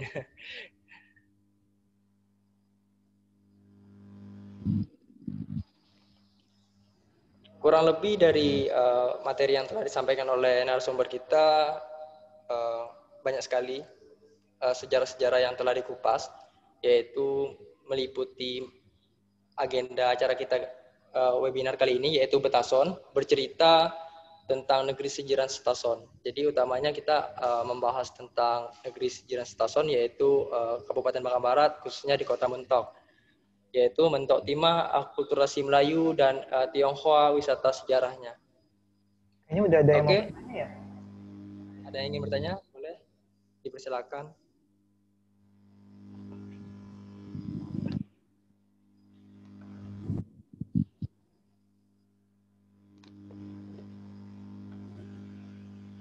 Jadi bisa langsung interaksi ya Kak Ori ya, atau bisa juga kalau mau bertanya di uh, kolom chat kita juga bisa silakan untuk diketik di situ. Ya nih, sobat debat silakan nih jika mau yang ingin bertanya, kalau mau diketik ya silakan diketik, kalau memang mau secara langsung ya dipersilakan juga gitu. Boleh ditanyakan kepada dua narasumber kita, boleh juga satu persatu gitu. Jadi yang ingin saya ulangi adalah untuk uh, Kak Suwitu yaitu membahas tentang akulturasi Melayu Tionghoa dan wisata sejarahnya. Uh, terus juga Kak Agung Purnama juga membahas tentang bentok Timah wisata sejarahnya juga. Jadi uh, mungkin silakan buat uh, sobat berdebar yang ingin menanyakan. Itu ada pertanyaan Kak Ori dari OOC PK. Ya silakan. Sudah masuk dia. Uh, Dibacain aja maaf, mungkin Kak Ori. Boleh dibesarkan nggak Pak? Itu ada pertanyaan di kolom chat, boleh dibacakan mungkin. Oke. Okay. Uh, eh, ini belum ada yang nanya nih. Oke, okay, udah. Jadi buat pertanyaan pada kali ini uh, perdana ya. Jadi yaitu penanyanya adalah Anna Tiara. Pertanyaannya mengenai tanggapan para narasumber tentang para generasi muda yang sudah mulai melupakan budaya kita khususnya di Kota Mentok. Jadi mungkin untuk uh, Kak Switowu boleh dijawab, entah dilanjutkan dengan Kak Agung Purnama. Karena saya rasa ini pertanyaan buat kedua narasumber kita. Oke, terima kasih kepada Ana Tiara. Ini pertanyaannya bagaimana tanggapannya uh, terhadap generasi muda yang sudah melupakan budaya kita khususnya di Kota Montok. Um, masalah ini menurut saya bukan hanya yang ada di yang dihadapkan uh, di Montok saja. Mayoritas anak-anak muda sudah sekarang sudah tergerus dengan modernisasi dan juga budaya populer gitu ya. Uh, ini menjadi tantangan kita bersama, terutama juga bagi kita generasi muda yang masih mencintai kebudayaan ataupun tradisi dan juga sejarah lokal. Dan bagaimana cara kita mengemaskannya agar uh, sejarah ataupun budaya tradisional ini bisa lebih populer, bisa diterima dengan uh, gaya ataupun style anak muda masa kini. Ini sebuah tantangan menurut saya. Begitu. Menurut saya sih hanya itu. Mungkin bisa ditambahkan oleh Kak Agung. Oke baik, eh, terima kasih buat Kosuito. Jadi menanggapi pertanyaan dari Ana ya uh, tentang tanggapan bagaimana terhadap generasi muda yang mulai melupakan budaya. Jadi Ana, ini benar kata itu menjadi sebuah problematika dan juga tantangan yang cukup besar bagi kita pribadi terutama ataupun bagi kita generasi muda khususnya yang ada di Kota Montok Bangka Barat. Untuk itu saya pribadi uh, sebagai salah satu apa ya bisa dibilang representasi ya representasi generasi sejarah wisata, budaya, dan juga sosial di Kabupaten Bangka Barat dengan gelar yang sudah didapatkan, gelar Bujang dan Dayang. Bujang dan Dayang itu bukan cuma sekedar gelar bagi saya, ataupun duta wisata itu bukan cuma sekedar selempang dan gelar saja, tetapi di sini kita sudah menjadi representasi sejarah, kita menjadi representasi budaya Kabupaten Bangka Barat. Makanya saya pribadi secara personal, saya selalu mengajak alumni dari Bujang Dayang Bangka Barat untuk terus berkontribusi melakukan aksi-aksi nyata yang bisa langsung terjun kepada masyarakat yang bisa langsung dirasakan oleh masyarakat baik itu di bidang sosial, di bidang budaya, di bidang sejarah, di bidang uh, dan bidang-bidang lainnya, kita selalu berkomitmen untuk hal tersebut. Saya selalu menanamkan itu kepada generasi muda yang ada di Ikatan Alumni Bangka Barat. Jadi untuk Ana, jika memang kamu menjadi salah satu generasi muda yang ingin ikut berkontribusi saya sedikit promosi ya. Ayo gabung sama kita di Ikatan Bujang Dayang Kabupaten Bangka Barat. Jadi untuk uh, pertanyaan dari Ana bagaimana menanggapinya, saya rasa setiap orang pasti memiliki tanggapan yang berbeda-beda. Untuk saya pribadi, uh, kembali kepada pribadi masing-masing generasi muda tersebut. Bagaimana cara dia berpikir, bagaimana cara dia mengambil tindakan. Namun bagi saya generasi muda yang ada di Ikatan Bujang Daya Bangka Barat akan saya optimalkan untuk bisa lebih peduli kepada sejarah, wisata, dan budaya yang ada di Kabupaten Bangka Barat. Mungkin itu Kak Ori jawabannya. Terima kasih untuk Ana atas pertanyaannya. Oke, uh, luar biasa sekali ya jawaban yang telah diberikan oleh narasumber. Mungkin untuk teman kita, Sobat Debar ya, uh, Ana Tiara, jadi mungkin teman-teman semuanya, sobat berdebar semuanya bisa melihat uh, seperti saya dan Kak Agung Purnama menggunakan salah satu atribut yaitu warisan budaya tak benda yang dinamakan dengan stanjak Depati Amir. Jadi teman-teman bisa lihat ini merupakan salah satu stanjak khas Bangka Belitung. Jadi ini merupakan bentuk cara kita uh, apa namanya mencintai warisan budaya yang telah ditinggalkan oleh leluhur kita. Nah untuk selanjutnya mungkin dari pertanyaan Ook uh, selaku perwakilan dari Pangkal Pinang, budaya Babel, yaitu terkait uh, etnis Cina di Pulau Bangka ini. Kenapa saat ini justru keberadaan atau gaung dari etnis Cina di kota Muntok terasa kurang dikenal di luar Muntok. Mungkin justru lebih dikenal dengan etnis Arab dari Muntok. Ini berbeda sekali mungkin dengan daerah lain, Cina Blinyu atau Cina Jebus. Padahal Muntok sendiri menjadi salah satu gerbang masuknya etnis Cina itu sendiri ke Pulau Bangka. Oke, mungkin lebih tepatnya ini pertanyaan kepada Kak ini ya, Suwitowu ya. Boleh dijawab Kak. Oke, ya. Uh, terima kasih kepada rekan OOC dari Pangkal Pinang. Uh, ini pertanyaan cukup membuat saya hmm, gimana ya rasanya ah, tersentak gitu memang ada pepatah mengatakan memang kejayaan milik masa lampau begitu. Ternyata ini terjadi begitu. Uh, memang secara latar belakang sejarah tidak bisa kita uh, lupakan bahwa Muntok ini adalah salah satu gerbang masuknya komunitas Tionghoa ke Pulau Bangka. Uh, buktinya apa? Buktinya adalah banyaknya peninggalan uh, peranakan Tionghoa yang masih tersisa di kota Muntok, misalnya seperti rumah mayor, Mayor adalah uh, pemimpin tertinggi komunitas Tionghoa yang ada di distrik Bangka pada masa itu dan juga ada kelenteng yang paling tua usianya di Pulau Bangka itu ada di Kota Muntok juga. Nah, tetapi mengapa uh, gaungnya terasa kurang hingga saat uh, sekarang ini? Lebih justru daerah-daerah yang di daerah utara, mungkin di Inyu, uh, Jebus, daerah yang mayoritas Tionghoanya lebih banyak. Nah, karena memang uh, fenomena ini menurut saya itu uh, tidak tidaklah aneh.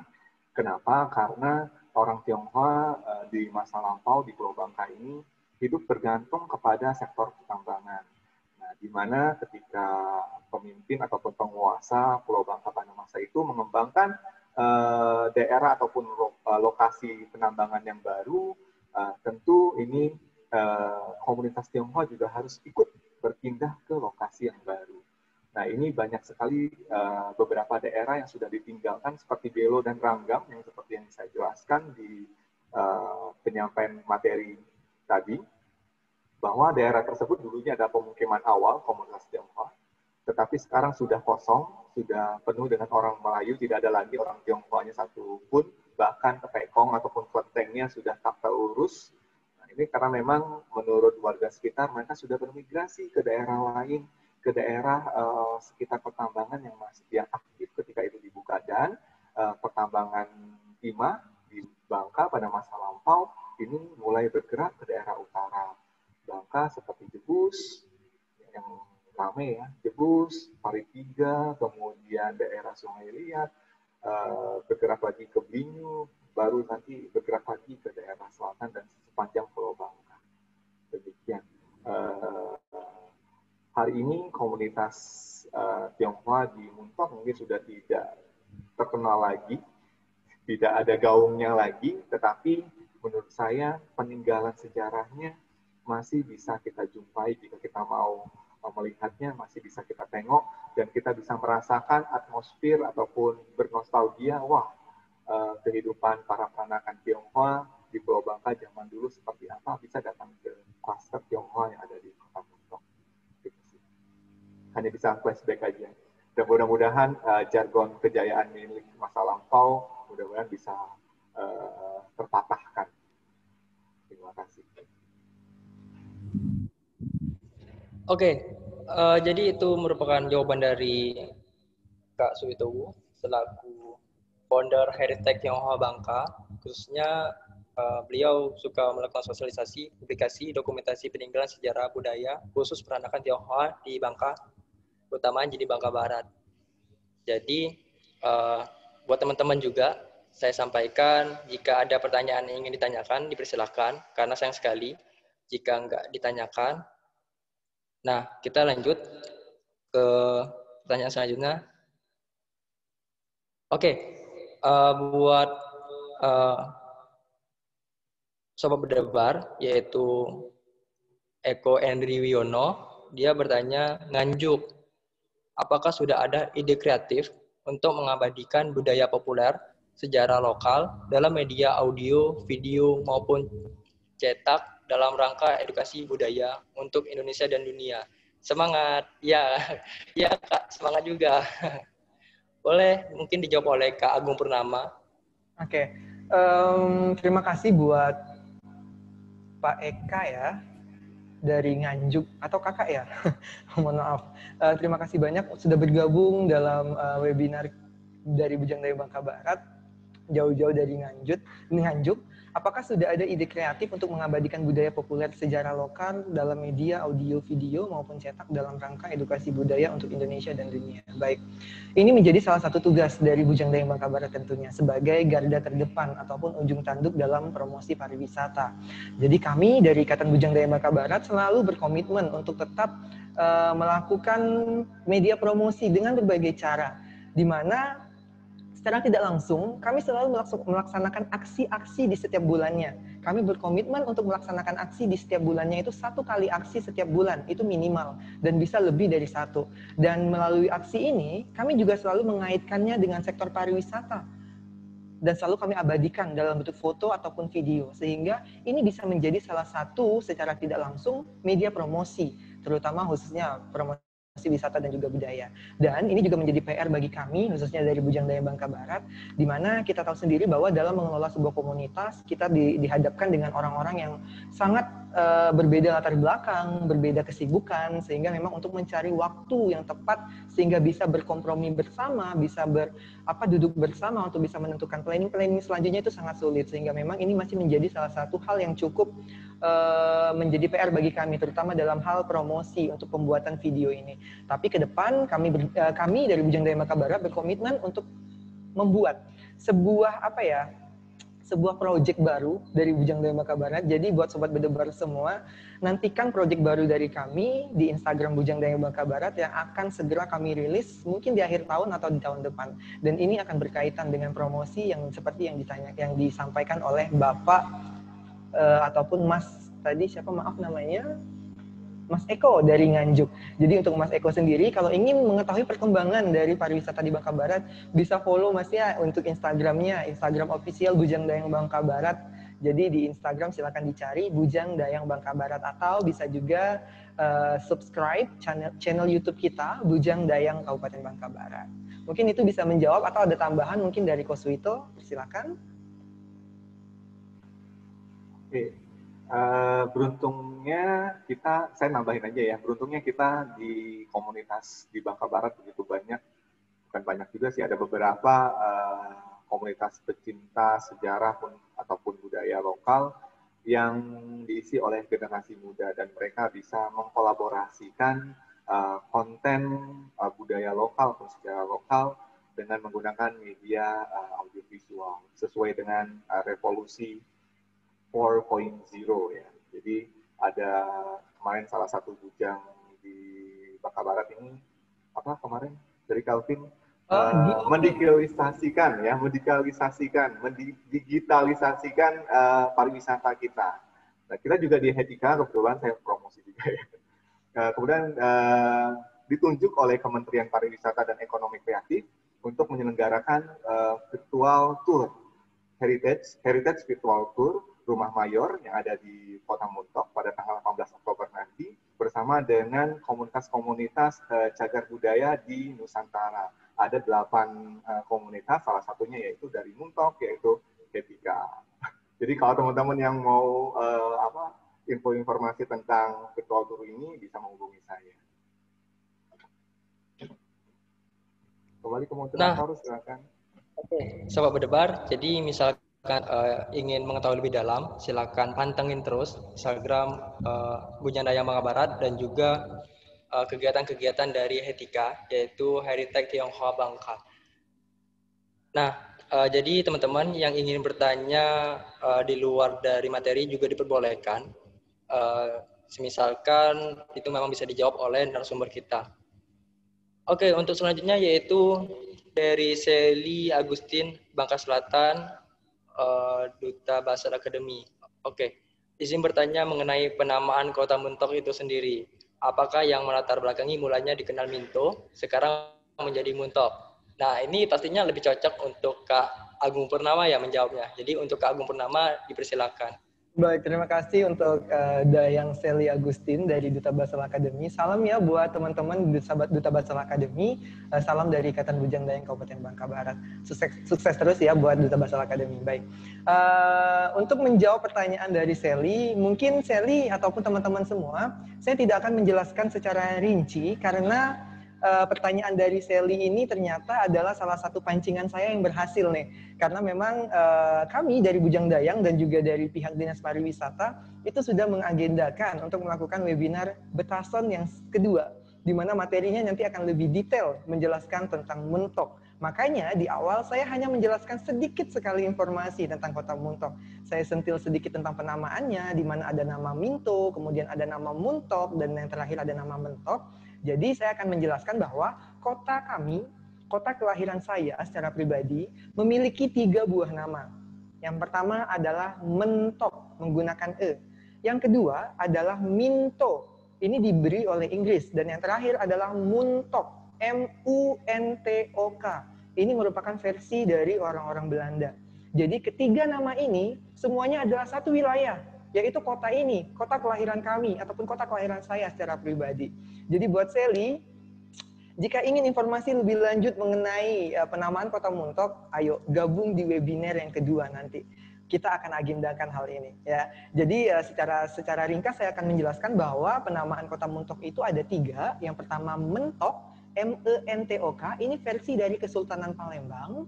Yang kedua adalah Minto, M-I-N-T-O, ini versi dari orang-orang Inggris. Dan yang ketiga adalah Muntok, M-U-N-T-O-K, ini versi dari orang-orang Belanda. Jadi itu yang bisa saya, uh, saya jawab untuk pertanyaan dari Sally. Untuk lebih detail ataupun lebih jelas dan lebih rinci, nanti akan ada di sesi webinar selanjutnya. Oke, silakan Kak Ori, bisa dilanjutkan. Iya, Kak Agung. Nah, uh, jadi buat sobat berdebar, ini merupakan webinar kita yang perdana pertama kali. Jika ingin uh, mendalami ingin mengetahui sejarah dari Kabupaten Bangka Barat, khususnya Kota Mentok, silakan untuk mengikuti webinar di sesi 2. Uh, eh, untuk yang selanjutnya yaitu pertanyaan dari Kak Vivi Nur Viva ya. Jadi sore Kak, saya sangat tertarik mendengarkan pemaparan dari Kak Agung mengenai Kota Muntok yang dikenal sebagai Kota Seribu Kue. Memangnya kue apa sih Kak yang paling terkenal di Muntok dan kenapa? Terima kasih Kak. Oke, sama-sama. Mungkin untuk Kak Agung pertama, dipersilakan untuk menjawab. Oke, baik. Uh, terima kasih buat Vivi Rafifa. Ini bukan pertanyaan titipan ya, Via. Jadi uh, saya akan coba jawab. Mentok memang dikenal dengan sebutan kota seribu kue, di mana memiliki lebih dari 200 jenis penganan atau kue tradisional. Dan uh, kue yang paling terkenal di Muntok adalah penganan pelite atau kue sampan. Kenapa? Kue ini adalah kue kesukaan Bung Karno ketika beliau diasingkan di kota Muntok. Jadi untuk teman-teman, sobat berdebar semua dan juga teman-teman yang pada saat ini uh, ada di webinar, saya akan menjelaskan tentang kue pelite ini. Jadi kue penganan pelite atau kue sampan merupakan kue yang sangat populer di kota Muntok. Kue ini merupakan kue kesukaan Bung Karno ketika diasingkan di Mentok tahun 48 sampai 49. Kue ini terbuat dari campuran tepung beras, santan, gula, dan juga garam. Kebayang nggak teksturnya? Itu kemudian nanti dimasak, ya. Tepung beras, kemudian dicampur dengan santan, dicampur air, kemudian dicampur sedikit garam, itu dimasak sampai dia mengental. Kemudian kita akan menyiapkan wadah Wadah ini menjadi salah satu yang unik. Wadahnya terbuat dari daun uh, pandan Cina ya, atau pandan bengkoang sebutannya. Jadi dia lebih besar daunnya. Daunnya lebih besar, memiliki duri di sisi kiri dan kanan, dan inilah daun ini nantinya dibentuk menjadi sampan persis seperti sampan.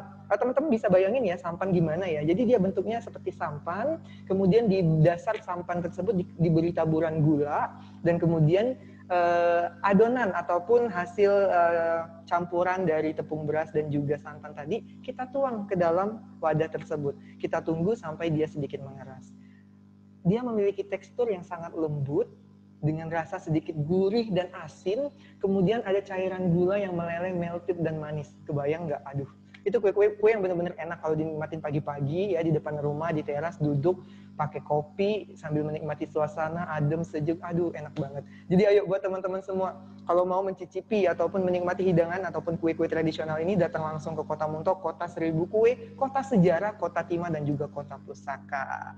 Oke silakan. Saya kembalikan kepada Kak Odi. Atau ada tambahannya dari Kak Suwito ya cukup kayaknya. Kalau soal uh, kue kayaknya Agung lebih jago mungkin bisa diteruskan dengan pertanyaan selanjutnya moderator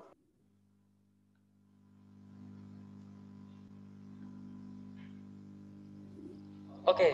uh, eh, jadi ini ada lagi pertanyaan uh, buat narasumber, yaitu dari Mas Ayu Musdalifah uh, Palembang. Luar biasa sekali ya, banyak sekali teman-teman sobat berdebar dari luar daerah Provinsi Kepulauan Bangka Belitung. Kak Ori, maaf Kak Ori, itu ada kelewatan satu deh kayaknya dari Trian Dara Ega ya. Kayaknya. Oke, okay. oh dua pertanyaan. Ya, itu kayaknya yang yang di atas duluan deh. ya maaf. Jadi boleh nih dua-duanya dijawab atau yang yang gimana nih benar sumber? Boleh dua-duanya aja sebelum kita masuk ke kuis ya Kak Kowito ya. Jadi untuk pertanyaan yang pertama, uh, yaitu dari Triandara Ega, uh, izin bertanya Kak, mungkin pertanyaan saya ini agak melenceng dari materi. Ya, nggak apa-apa. Pertanyaannya ini sering saya dengar dari orang-orang yang bekerja sebagai penambang timah. Mereka sering menanyakan mengapa harga timah turun drastis. Eh, maaf ya Kak. Oke, jadi nggak masalah, mungkin di luar materi. Siapa tahu bisa dijawab oleh narasumber yang di mana Kak Agung Purnama dipersilakan. Oke, okay. Terima kasih untuk uh, Trian Dara Ega ya dari Recycling Generation. Oh ini uh, komunitasnya Kak Ori ternyata ya. Oke. okay. Ya, agak aktif. Anak saya agak aktif. Saya coba jawab. Um, kenapa banyak yang mengeluhkan harga timah turun drastis? Oke. Okay. Jadi seperti ini uh, panggilannya apa ini? Trian, Dara atau Ega? tiga-tiganya nama ya. saya coba panggil Trian aja ya. Saya coba panggil Trian. Jadi begini Trian, uh, harga timah dari Pulau Bangka sendiri ataupun PT Timah PT Timah secara uh, khusus, mereka berpatokan pada harga timah ataupun pasar internasional. Jadi ketika memang harga di internasional, uh, harga pasar di internasional itu uh, turun, otomatis harga timah di Pulau Bangka pun akan ikut anjlok. Jadi uh, mengapa seperti itu ya? Karena PT Timah juga tidak akan mengambil risiko. Mereka juga merupakan sebuah perusahaan yang memang uh, penghasilan atau benefitnya tergantung dari penjualan timah.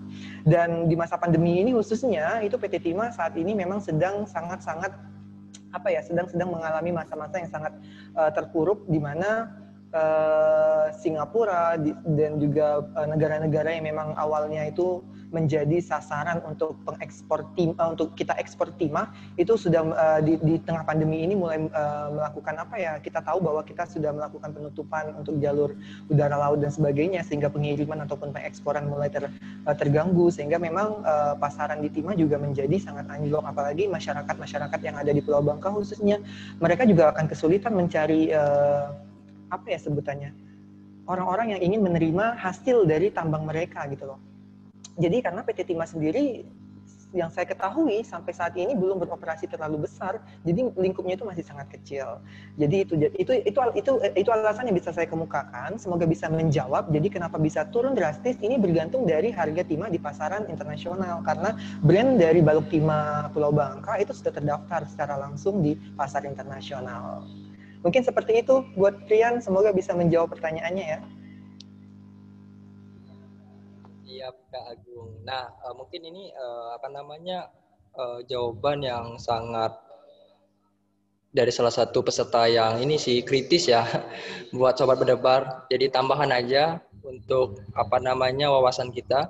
Nah, untuk selanjutnya dari pertanyaan Mas Ayu Musdalifa uh, sore Kak mengenai sejarah pengasingan Bung Karno yang jelas dan benarnya itu diasingkan di pesanggerahan Menumbing atau Wisma Ranggam Kak uh, kayaknya ini pertanyaan khusus buat Kak Agung Purnama karena saya lihat juga banyak sekali animo dari peserta yang penasaran dengan apa nama perjuangan kemerdekaan yang ada di uh, Kota Muntok utamanya. Mungkin dipersilakan Kak, Kak Agung. Baik, terima kasih untuk uh, Mas Ayu Musdalifah dari Palembang udah jauh-jauh uh, join di webinar kita. Terima kasih banyak sudah join.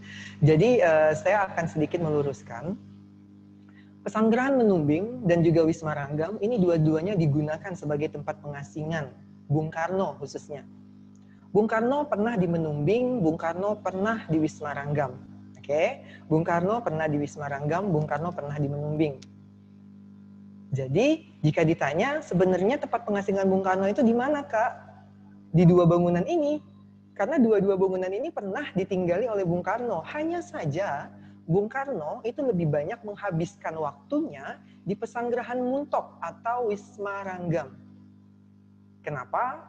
Alasannya saya alasan akan saya kemukakan satu saja ya. Alasan ah, satu alasan yang akan saya kemukakan, Bung Karno memiliki penyakit asma yang mana uh, beliau tidak cocok dengan udara dingin yang ada di Menumbing. Sehingga beliau meminta untuk dipindahkan ke pesanggerahan Muntok. Itu alasan yang pertama. Masih ada beberapa alasan lainnya. Namun ini masih akan saya keep akan saya keep lagi untuk webinar selanjutnya.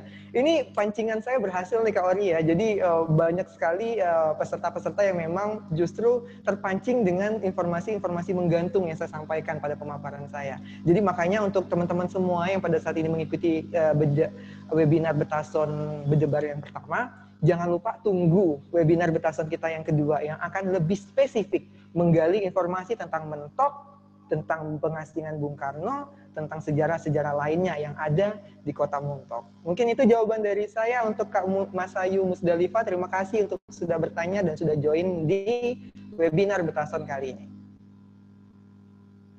Oke, terima kasih kepada Kak Agung Purnama dan Kak Koswitu uh, sebagai pemapar materi dari kegiatan webinar kita yaitu dengan tema Betason bercerita tentang negeri sejiran Setason. Nah, mungkin kepada sobat berdebar, uh, mulai dari sekarang bersiap-siap. Kita bakal memasuki dalam sesi uh, quiz dan akan dibagikan uh, linknya di chat kalian. Silakan dicek yaitu link dari uh, quiz Quizy. Jadi uh, jangan keluar dulu dari webinar kita. Silakan uh, isi quiz yang telah kita bagikan melalui aplikasi Quizy. Ada hadiah loh. Oke, okay. uh, eh, saya sedikit apa ya menjelaskan sedikit kalori ya, mohon maaf ya. Uh, jadi buat teman-teman, kalian bisa uh, kalau yang menggunakan satu perangkat, kalian bisa minimize dulu nih untuk Zoom aplikasinya di minimize, kemudian bisa masuk ke link yang sudah dibagikan oleh uh, panitia. Nanti ketika sudah masuk, ketika kalian sudah login, silakan masukkan nama, asal, dan juga komunitas. Seperti nama kalian ketika mendaftar ya. Nama, asal, dan juga komunitas. Nah nanti kalau sudah tergabung, jangan dulu join. Kalian bisa lihat kita sudah menampilkan layar di uh, Zoom ini. Itu kita sudah akan melihat siapa saja yang sudah masuk, siapa saja yang belum. Jadi sudah ada Septian Jerry di sini, sudah ada Christian, sudah ada Kak Okta, sudah ada Rinto Marta. Jadi untuk teman-teman yang lain, ayo kami masih tunggu. Dan teman-teman di sini, seperti yang sudah disampaikan oleh Kosuito, bahwa akan ada hadiah menarik buat teman-teman semua. Hadiah menarik dari kami. Saya uh, saya bocorin sedikit ya. Hadiahnya itu ada stanjak, ya, stanjak yang saat ini saya gunakan. Ini akan uh, kita berikan kepada orang, orang beberapa orang yang beruntung. Kemudian juga ada masker cual yang akan kita bagikan. Ada juga pewter, ada juga goodie bag, ada juga tote bag, dan juga ada hadiah menarik lainnya. Jadi ayo, buat kalian yang belum bergabung, langsung bergabung karena kami akan memonitor dari sini. Kami akan memulai uh, kuis ini bersamaan karena teman-teman gak akan bisa memulai tanpa uh, arahan ataupun tanpa panduan dari host. Di mana host kita pada saat ini adalah Uh, mohon host untuk dimut dong peserta lainnya, partisipan. Kak Suwito mungkin bisa di share screen. Oke, okay. baik Kak Suwito sudah uh, membagikan apa screen di sini ada Rohimin sudah bergabung, Trian sudah bergabung, Sally Agustin sudah bergabung, Mas Ayu Musdalifa sudah bergabung, Ana Tiara Bangka Ana Tiara sudah bergabung. Ayo, makin banyak nih yang bergabung. Oke, kita akan memulai serentak ya untuk kuisnya ya. Jadi nanti penilaian dalam kuis ini adalah berdasarkan kecepatan dan ketepatan. Oke, berdasarkan kecepatan dan ketepatan. Kak, gimana nih kalau nanti koneksi saya lelet? Karena saya lokasi rumahnya cukup masuk-masuk ke dalam gang-gang sempit nggak masalah. Jadi ketika koneksi kalian kurang stabil, waktu kalian juga akan berhenti nantinya, tidak akan terhitung. Waktu akan mulai kembali ketika jaringan kalian mulai stabil kembali. Jadi untuk itu tidak akan ada yang dirugikan dalam kuis ini, oke? Okay? Jadi nggak usah khawatir memikirkan koneksi. Kalian jawab aja sebisa kalian ketika nantinya koneksi jelek, nggak apa-apa, ditunggu aja, ditunggu aja sampai koneksinya stabil. Dan kita juga pasti akan menunggu. Dan di sini nantinya akan langsung ketahuan nih hasilnya. Siapa peringkat pertama, peringkat dua, peringkat tiga, dan sampai peringkat selanjutnya. Dan nanti kita akan membagikan 10 hadiah untuk 10 orang pemenang. Anjing. Akan ada tiga hadiah tambahan untuk pemenang challenge. Jadi buat kalian yang sudah mengirimkan challenge kemarin, saya ucapkan terima kasih banyak. kalian akan berkesempatan mendapatkan hadiah dari kami Bujang Daya Bangka Barat. Kalau nantinya kalian Kalau juga aku semoga uh, menang di sini. Ya. Aku menang di sini ataupun di itu ada suara di quizzes ini atau enggak di challenge? Amin uh, suara siapa bocor? Udah berapa kok? 25 ini kita ada 40 kok. Kita masih tunggu ya 15 lagi ya. Ayo teman-teman uh, kita menunggu teman-teman buat join nih karena kita juga terkendala waktu. Dan teman-teman ingat satu soal itu sudah kita setting waktunya hanya 30 detik jadi kalian mengisinya itu harus cepat-cepat ya, karena ini berhubungan dengan waktu dan kecepatan. Waktu dan ketepatan maksud saya ya, waktu dan ketepatan. Jadi satu soal isi eh, waktunya adalah 30 detik dan kita ada 20 soal yang harus teman-teman jawab. Ya, ayo ayo teman-teman harus bisa nih. Ah, udah 26, masih 14 lagi. Kita tunggu 5 menit lagi atau gimana kok Wito? Kita tunggu 5 menit lagi kok? Atau kita tunggu sampai full?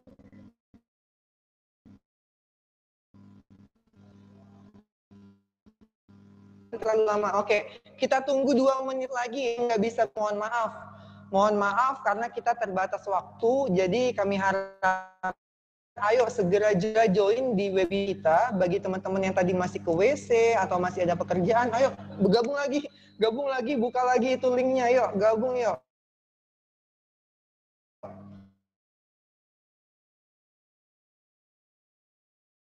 Jadi jangan bagi orang pengetahuan. Tunggu ya. Uh, peserta yang lain, ayo dong gabung. Makanya saya pada tata tertib sudah saya katakan bahwa teman-teman harus on videonya supaya bisa kelihatan nih siapa aja yang keluar, siapa aja yang masih ada kerjaan ataupun yang lain sebagainya supaya kita juga bisa memonitor dari sini. Kalau teman-teman offin videonya, kita nggak bisa memonitor. Jadi mohon maaf sekali, uh, saya sudah bacakan tata tertib kemarin bahwa teman-teman harus on di videonya. Kecuali kalau memang ada hal mendesak itu nggak apa-apa. Oke, 29 orang sudah bergabung. Satu menit lagi kok ya, kita tunggu ya. Kami masih menunggu satu menit lagi. Jika nggak ada lagi yang lain, kita akan langsung memulai uh, sesi kuis ini. untuk menentukan 10 pemenang dari quiz ini dan nanti tiga orang pemenang dari sesi challenge. Oke, kita masih menunggu satu menit lagi. 29 orang otomatis masih ada 11 yang belum bergabung. Oke, di sini juga ada alumni Bujang Dayang Bangka Barat yang ikut ya. Ada beberapa yang saya lihat tadi yang ikut. Nantinya kalau memang mereka ada di urutan teratas, mohon maaf ya. Teman-teman dari alumni nanti kalian harus kasih uh, kesempatan untuk teman-teman yang lain oke? Okay? tapi tetap join aja nggak apa-apa untuk menambah wawasan kalian untuk menambah uh, ilmu kalian juga. Oke okay, kok bisa kita mulai? Oke okay. teman-teman semuanya standby. Teman-teman semuanya standby. Dalam hitungan lima eh dalam hitungan saya hitung dari lima ya. Saya hitung dari lima maka Kosu itu akan memulai uh, game ini. Lima empat tiga dua, satu, go! Silakan teman-teman bisa dimulai. Di sini saya akan membacakan pergerakan dari ranking yang sudah teman-teman dapat. Jadi di sini benar-benar kelihatan loh. Tiga, dua, satu, go! Ayo teman-teman bisa dijawab langsung pertanyaannya. Saya akan membacakan di sini uh, rekapan dari hasilnya ya. Siapa saja yang ada di Oke, okay, Anna Tiara Bangka di posisi pertama. Disusul dengan Anissa dan Oke, okay, Oktavia Jaya menyusul. Bang Okta menyusul di posisi pertama.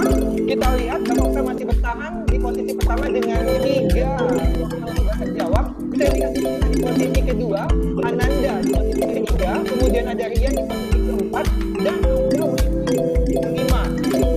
Oke, berubah nih ya. Nampaknya Rinto naik ke posisi keempat. Wow.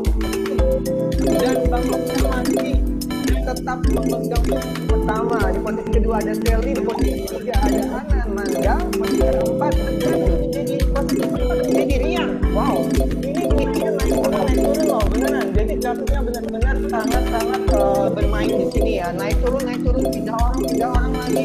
Gak masih mempertahankan posisinya dengan 8 soal terjawab dan juga ada Agustin soal terjawab kemudian nomor tiga ada Rian Hidayat ada Wendy Elbangka di posisi keempat oke naik Desi dari Bangka Barat di posisi keempat wow Armila naik ke posisi kelima Wendy turun ke posisi keenam ayo dong yang lain mana nih Bang Oscar masih di posisi pertama loh. Rian mas, wah Rian naik ke posisi kedua, PNSI naik ke posisi ketiga. Oke, posisi ketiga tersusul oleh Rian. Oh enggak. Nah, akhirnya turun lagi Rian di posisi kedua.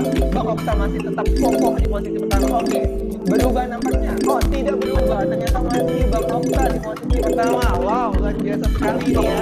Perwakilan dari Bujang Dayang Bangka Belitung.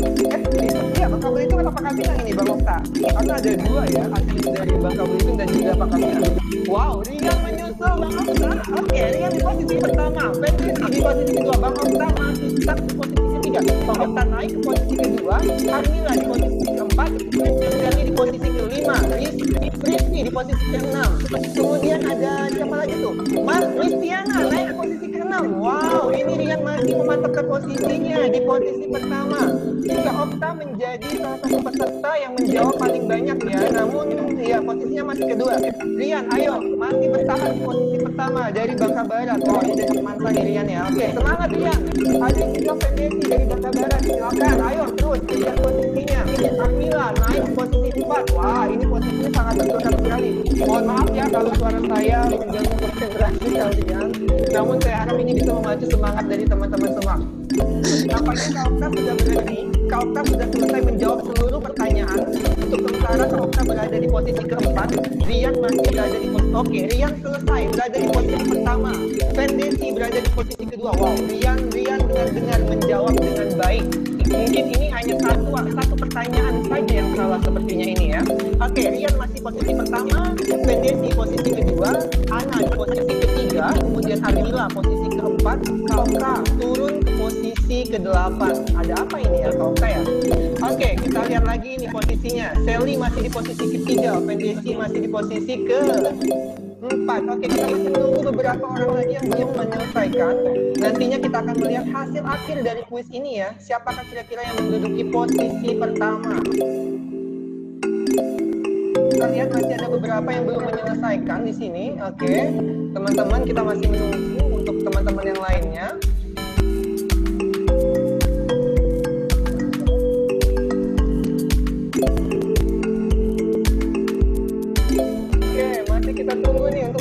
Oke, masih kita tunggu nih untuk menyelesaikan yang lain.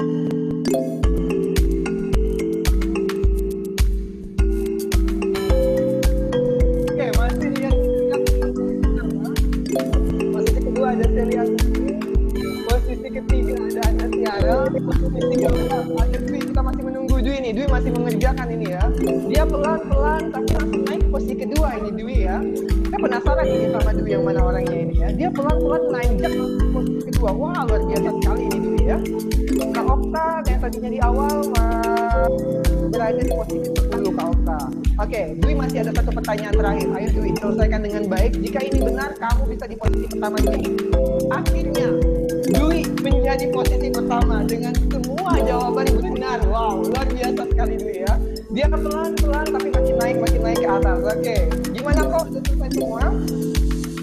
Kayaknya udah kok. Kayaknya kita udah dapat 10 besar.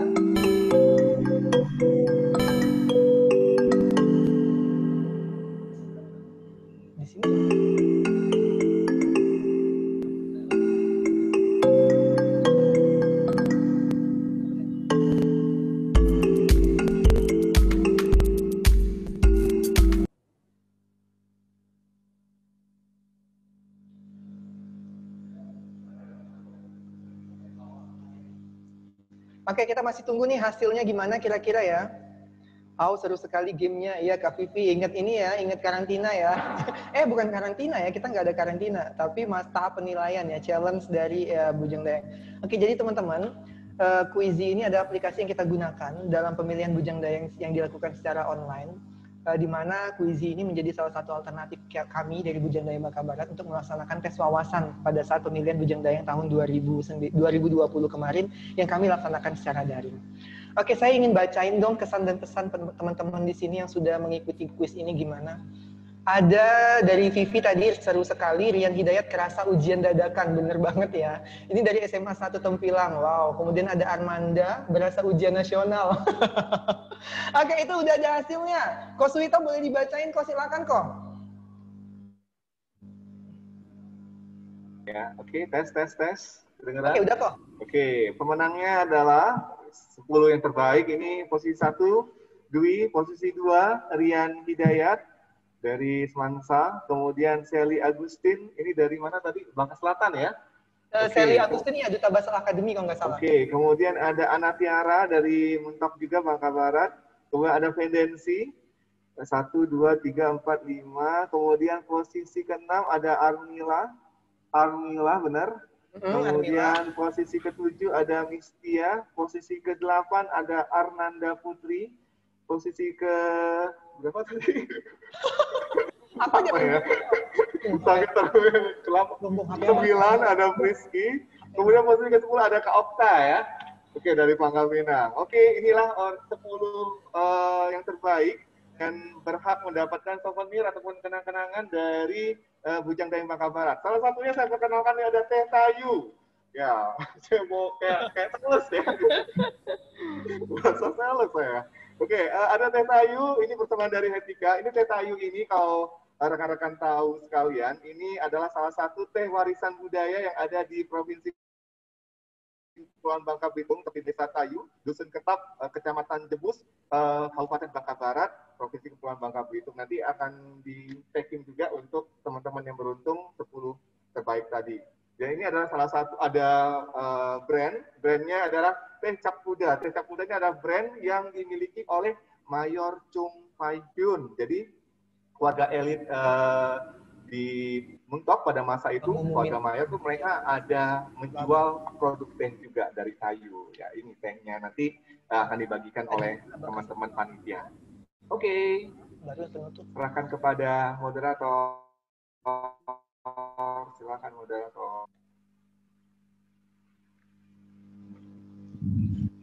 Oke, eh, jadi buat sobat berdebat itu merupakan aplikasi Quizy yang membuat saya flashback ya dari eh, pemilihan di tahun ini yaitu menjadi Bujanda yang Kabupaten Bangka Barat sangat luar biasa sekali. Jadi di sini teman-teman juga bisa merasakan gimana eh, waktu kita mengikuti eh, challenge-challenge yang telah diberikan oleh panitia. Nah, eh, jadi itulah 10 besar pemenang dari eh, kuis aplikasi Quizy. Jadi selamat buat eh, sobat berdebar yang telah menerima eh, hadiah yang bakal diberikan oleh panitia dari Bujanda yang Bangka Barat. Terus juga eh, di sini eh, dari Kak Agung Purnama eh, bakal em, apa namanya memberitahu siapa saja yang jadi pemenang challenge. Jadi teman-teman kan udah dikasih challenge nih di Instagram, uh, yaitu menuliskan uh, respon dari teman-teman sobat berdebar terkait challenge yang telah diberikan. Mungkin pada Kak Agung Purnama dipersilakan. Oke, terima kasih buat uh, Kak Ori. Saya mungkin sedikit mereview Kak ya, sedikit membacakan uh, apa tanggapan dari teman-teman yang udah chat nih saya, saya tadi udah sampai di berasa ujian. Eh, itu kenapa ada foto Kak Ori dong? Oke, ada tadi dari Amanda berasa ujian nasional, Kak. Dari Dwi Anggia, lumayan deg-degan. Oke, dari Mas Ayu, mantul banget kuisnya, Kak. Terima kasih. Ada Mistiana dari Bangka Barat, berasa responsi praktikum ilmu resep. Oke. Okay. Bener nggak nih resep ya? Kemudian ada Trian Dera Adara Aga Kededep. Oke, baik. Itu tanggapan-tanggapan dari teman-teman semua. Terima kasih banyak buat teman-teman yang masih join sampai sekarang. Uh, sebelum saya membacakan pemenang dari challenge, saya akan mem, uh, mengumumkan, bukan mengumumkan ya, menunjukkan hadiah apa yang bisa teman-teman dapatkan. Untuk juara satu, juara dua, dan juara tiga dari aplikasi Quizy, kalian akan mendapatkan yang pertama, stanjak Kemudian kalian akan mendapatkan tote bag Bujang Dayang Bangka Barat. Kemudian kalian akan mendapatkan goodie bag dari Dinas Pariwisata dan Kebudayaan Kabupaten Bangka Barat. Kemudian kalian akan mendapatkan pin dari Bujang Dayang Bangka Barat. Itu untuk juara 1, 2, dan 3. Oke. Selanjutnya untuk juara 4, 5, 6, dan 7. Untuk juara 4, 5, 6, dan 7 akan mendapatkan gantungan kunci dari timah. Ini dari timah asli ya. Jadi uh, teman-teman nggak usah khawatir. Itu palsu nanti bukan timah, ini timah berat banget. Jadi ini 90% timah. Jadi kalian untuk juara 4, 5, 6, dan 7 akan mendapatkan gantungan kunci dari timah. Kemudian mendapatkan tote bag Bujang Dayang Bangka Barat. Kemudian juga mendapatkan gantungan kunci dari Bujang Dayang Bangka Barat. Kemudian kalian juga akan mendapatkan apa ya? Goodie bag dari Buja, dari Dinas Pariwisata dan juga Kebudayaan Kabupaten Bangka Barat. Oke, selanjutnya selain itu kalian juga akan mendapatkan plus tambahan masker cual. Oke, masker cual dari Bujang Dayang Bangka Barat. Selanjutnya untuk juara 8, 9, dan 10. Juara 8, 9, dan 10 akan mendapatkan masker, kemudian uh, tote bag, kemudian goodie bag, dan yang terakhir mendapatkan gantungan kunci atau pin dari Bujang Dayang Bangka Barat. Nah, saatnya saya akan mengumumkan untuk pemenang challenge. Pemenang challenge yang sudah dilaksanakan kemarin, yang pertama adalah atas nama Rohimin saya nggak tahu ini perwakilan dari mana ya, karena saya cuma membaca dari uh, Instagram Budaya Bangka ya. Oke, Bujang Mia ya. Oke, dari Bujang Mia Kabupaten Bangka. Selamat untuk Rohimin. Kemudian yang kedua dengan nama Instagram TD Febrina. Ya, saya nggak tahu nama aslinya, mohon maaf, saya hanya membacakan ID Instagram TD Febrina. Kemudian yang ketiga pemenangnya adalah Meldo YAPP dari Sumatera Selatan. Oke, untuk tiga pemenang challenge ini, kalian akan mendapatkan uh, masker cual, kemudian tote bag dari Bujang Dayang, kemudian mendapatkan uh, pin dan juga mendapatkan goodie bag dari Dina, serta juga akan mendapatkan teh tayu dari Kosuito yang tadi sudah disampaikan oleh Kosuito. Oke, jadi mungkin itu yang bisa saya sampaikan uh, untuk teman-teman semua. Saya ucapkan terima kasih banyak telah mengikuti games ini. Nantinya hadiah akan kami kirim untuk ongkos kirim tidak usah khawatir. Kami dari Bujang Dayang akan menanggung ongkos kirimnya. Jadi teman-teman cukup menunggu standby di rumah saja. Uh, hadiahnya akan sampai kepada teman-teman. Untuk itu bagi 10 pemenang utama dan juga tiga pemenang challenge, saya harapkan bisa langsung kontak saya secara pribadi. Uh, chat saya secara pribadi untuk alamatnya biar nanti bisa saya kirim hadiah kalian, oke? Okay? Dan kepada teman-teman semua, habis ini silakan bisa langsung untuk uh, sudah ngisi ya, sudah ngisi absen. Saya minta pesan dan kesannya untuk teman-teman supaya kami bisa menjadi bahan pertimbangan ke depan untuk melaksanakan betason yang kedua. Oke, okay, saya kembalikan kepada uh, moderator. Mungkin Kosuito ada closing statement atau gimana? Moderator masih ada waktu nggak? Boleh jika mau masih ada beberapa waktu nih, ada beberapa ya, menit Udah sebelum penutupan. Silakan Kosuito. Oke. Okay. Uh, eh, karena diminta closing statement, saya agak ini ribet sedikit ya, sorry. Uh, Oke. Oke, eh, penutupan dari saya eh, mungkin sesuai dengan materi yaitu kebersamaan terus kita jalin eh, ke keragaman yang ada di negeri kita, keragaman yang ada di tempat kita merupakan suatu keindahan yang bisa kita rajut bersama-sama. Itu saja. Terima kasih.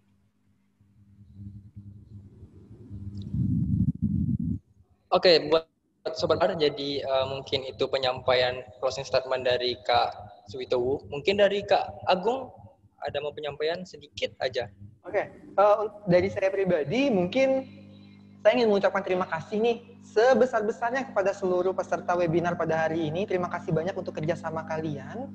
Uh, semoga webinar yang kami laksanakan ini bisa berkesan bagi kalian. Ini adalah salah satu upaya kecil yang bisa kami lakukan sebagai Bujang Dayang Bangka Barat, Duta Pariwisata di Kabupaten Bangka Barat, ujung tombak promosi pariwisata Bangka Barat. Inilah hal kecil yang bisa kami lakukan di tengah pandemi saat ini, di mana kami melakukan sedikit aksi untuk bisa ikut membantu pemerintah dalam hal promosi pariwisata, sejarah, dan budaya yang ada di Bangka Barat.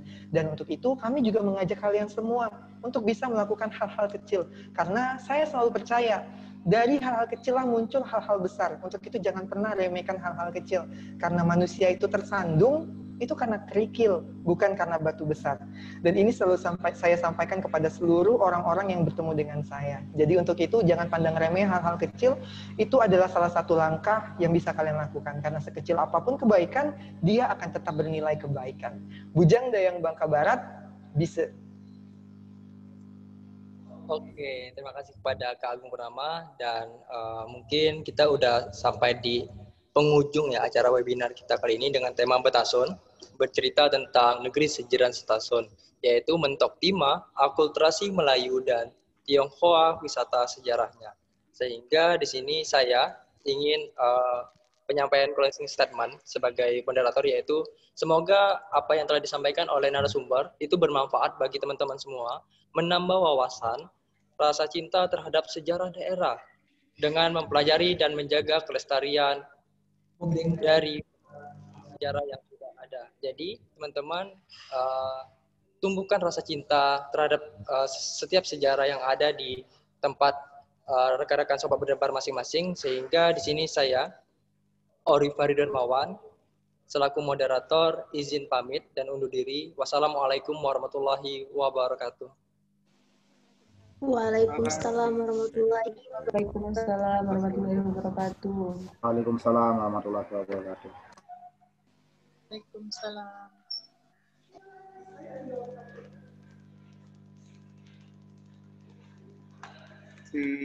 Sampai ketemu.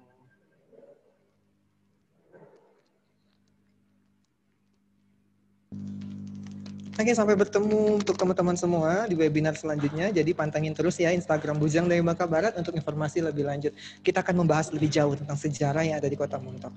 Saya sangat uh, mengapresiasi nih semangat teman-teman semua.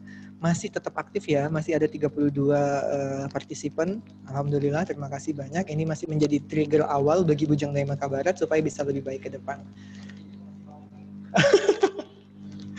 Oke, terima kasih banyak semuanya. Sampai bertemu di webinar selanjutnya.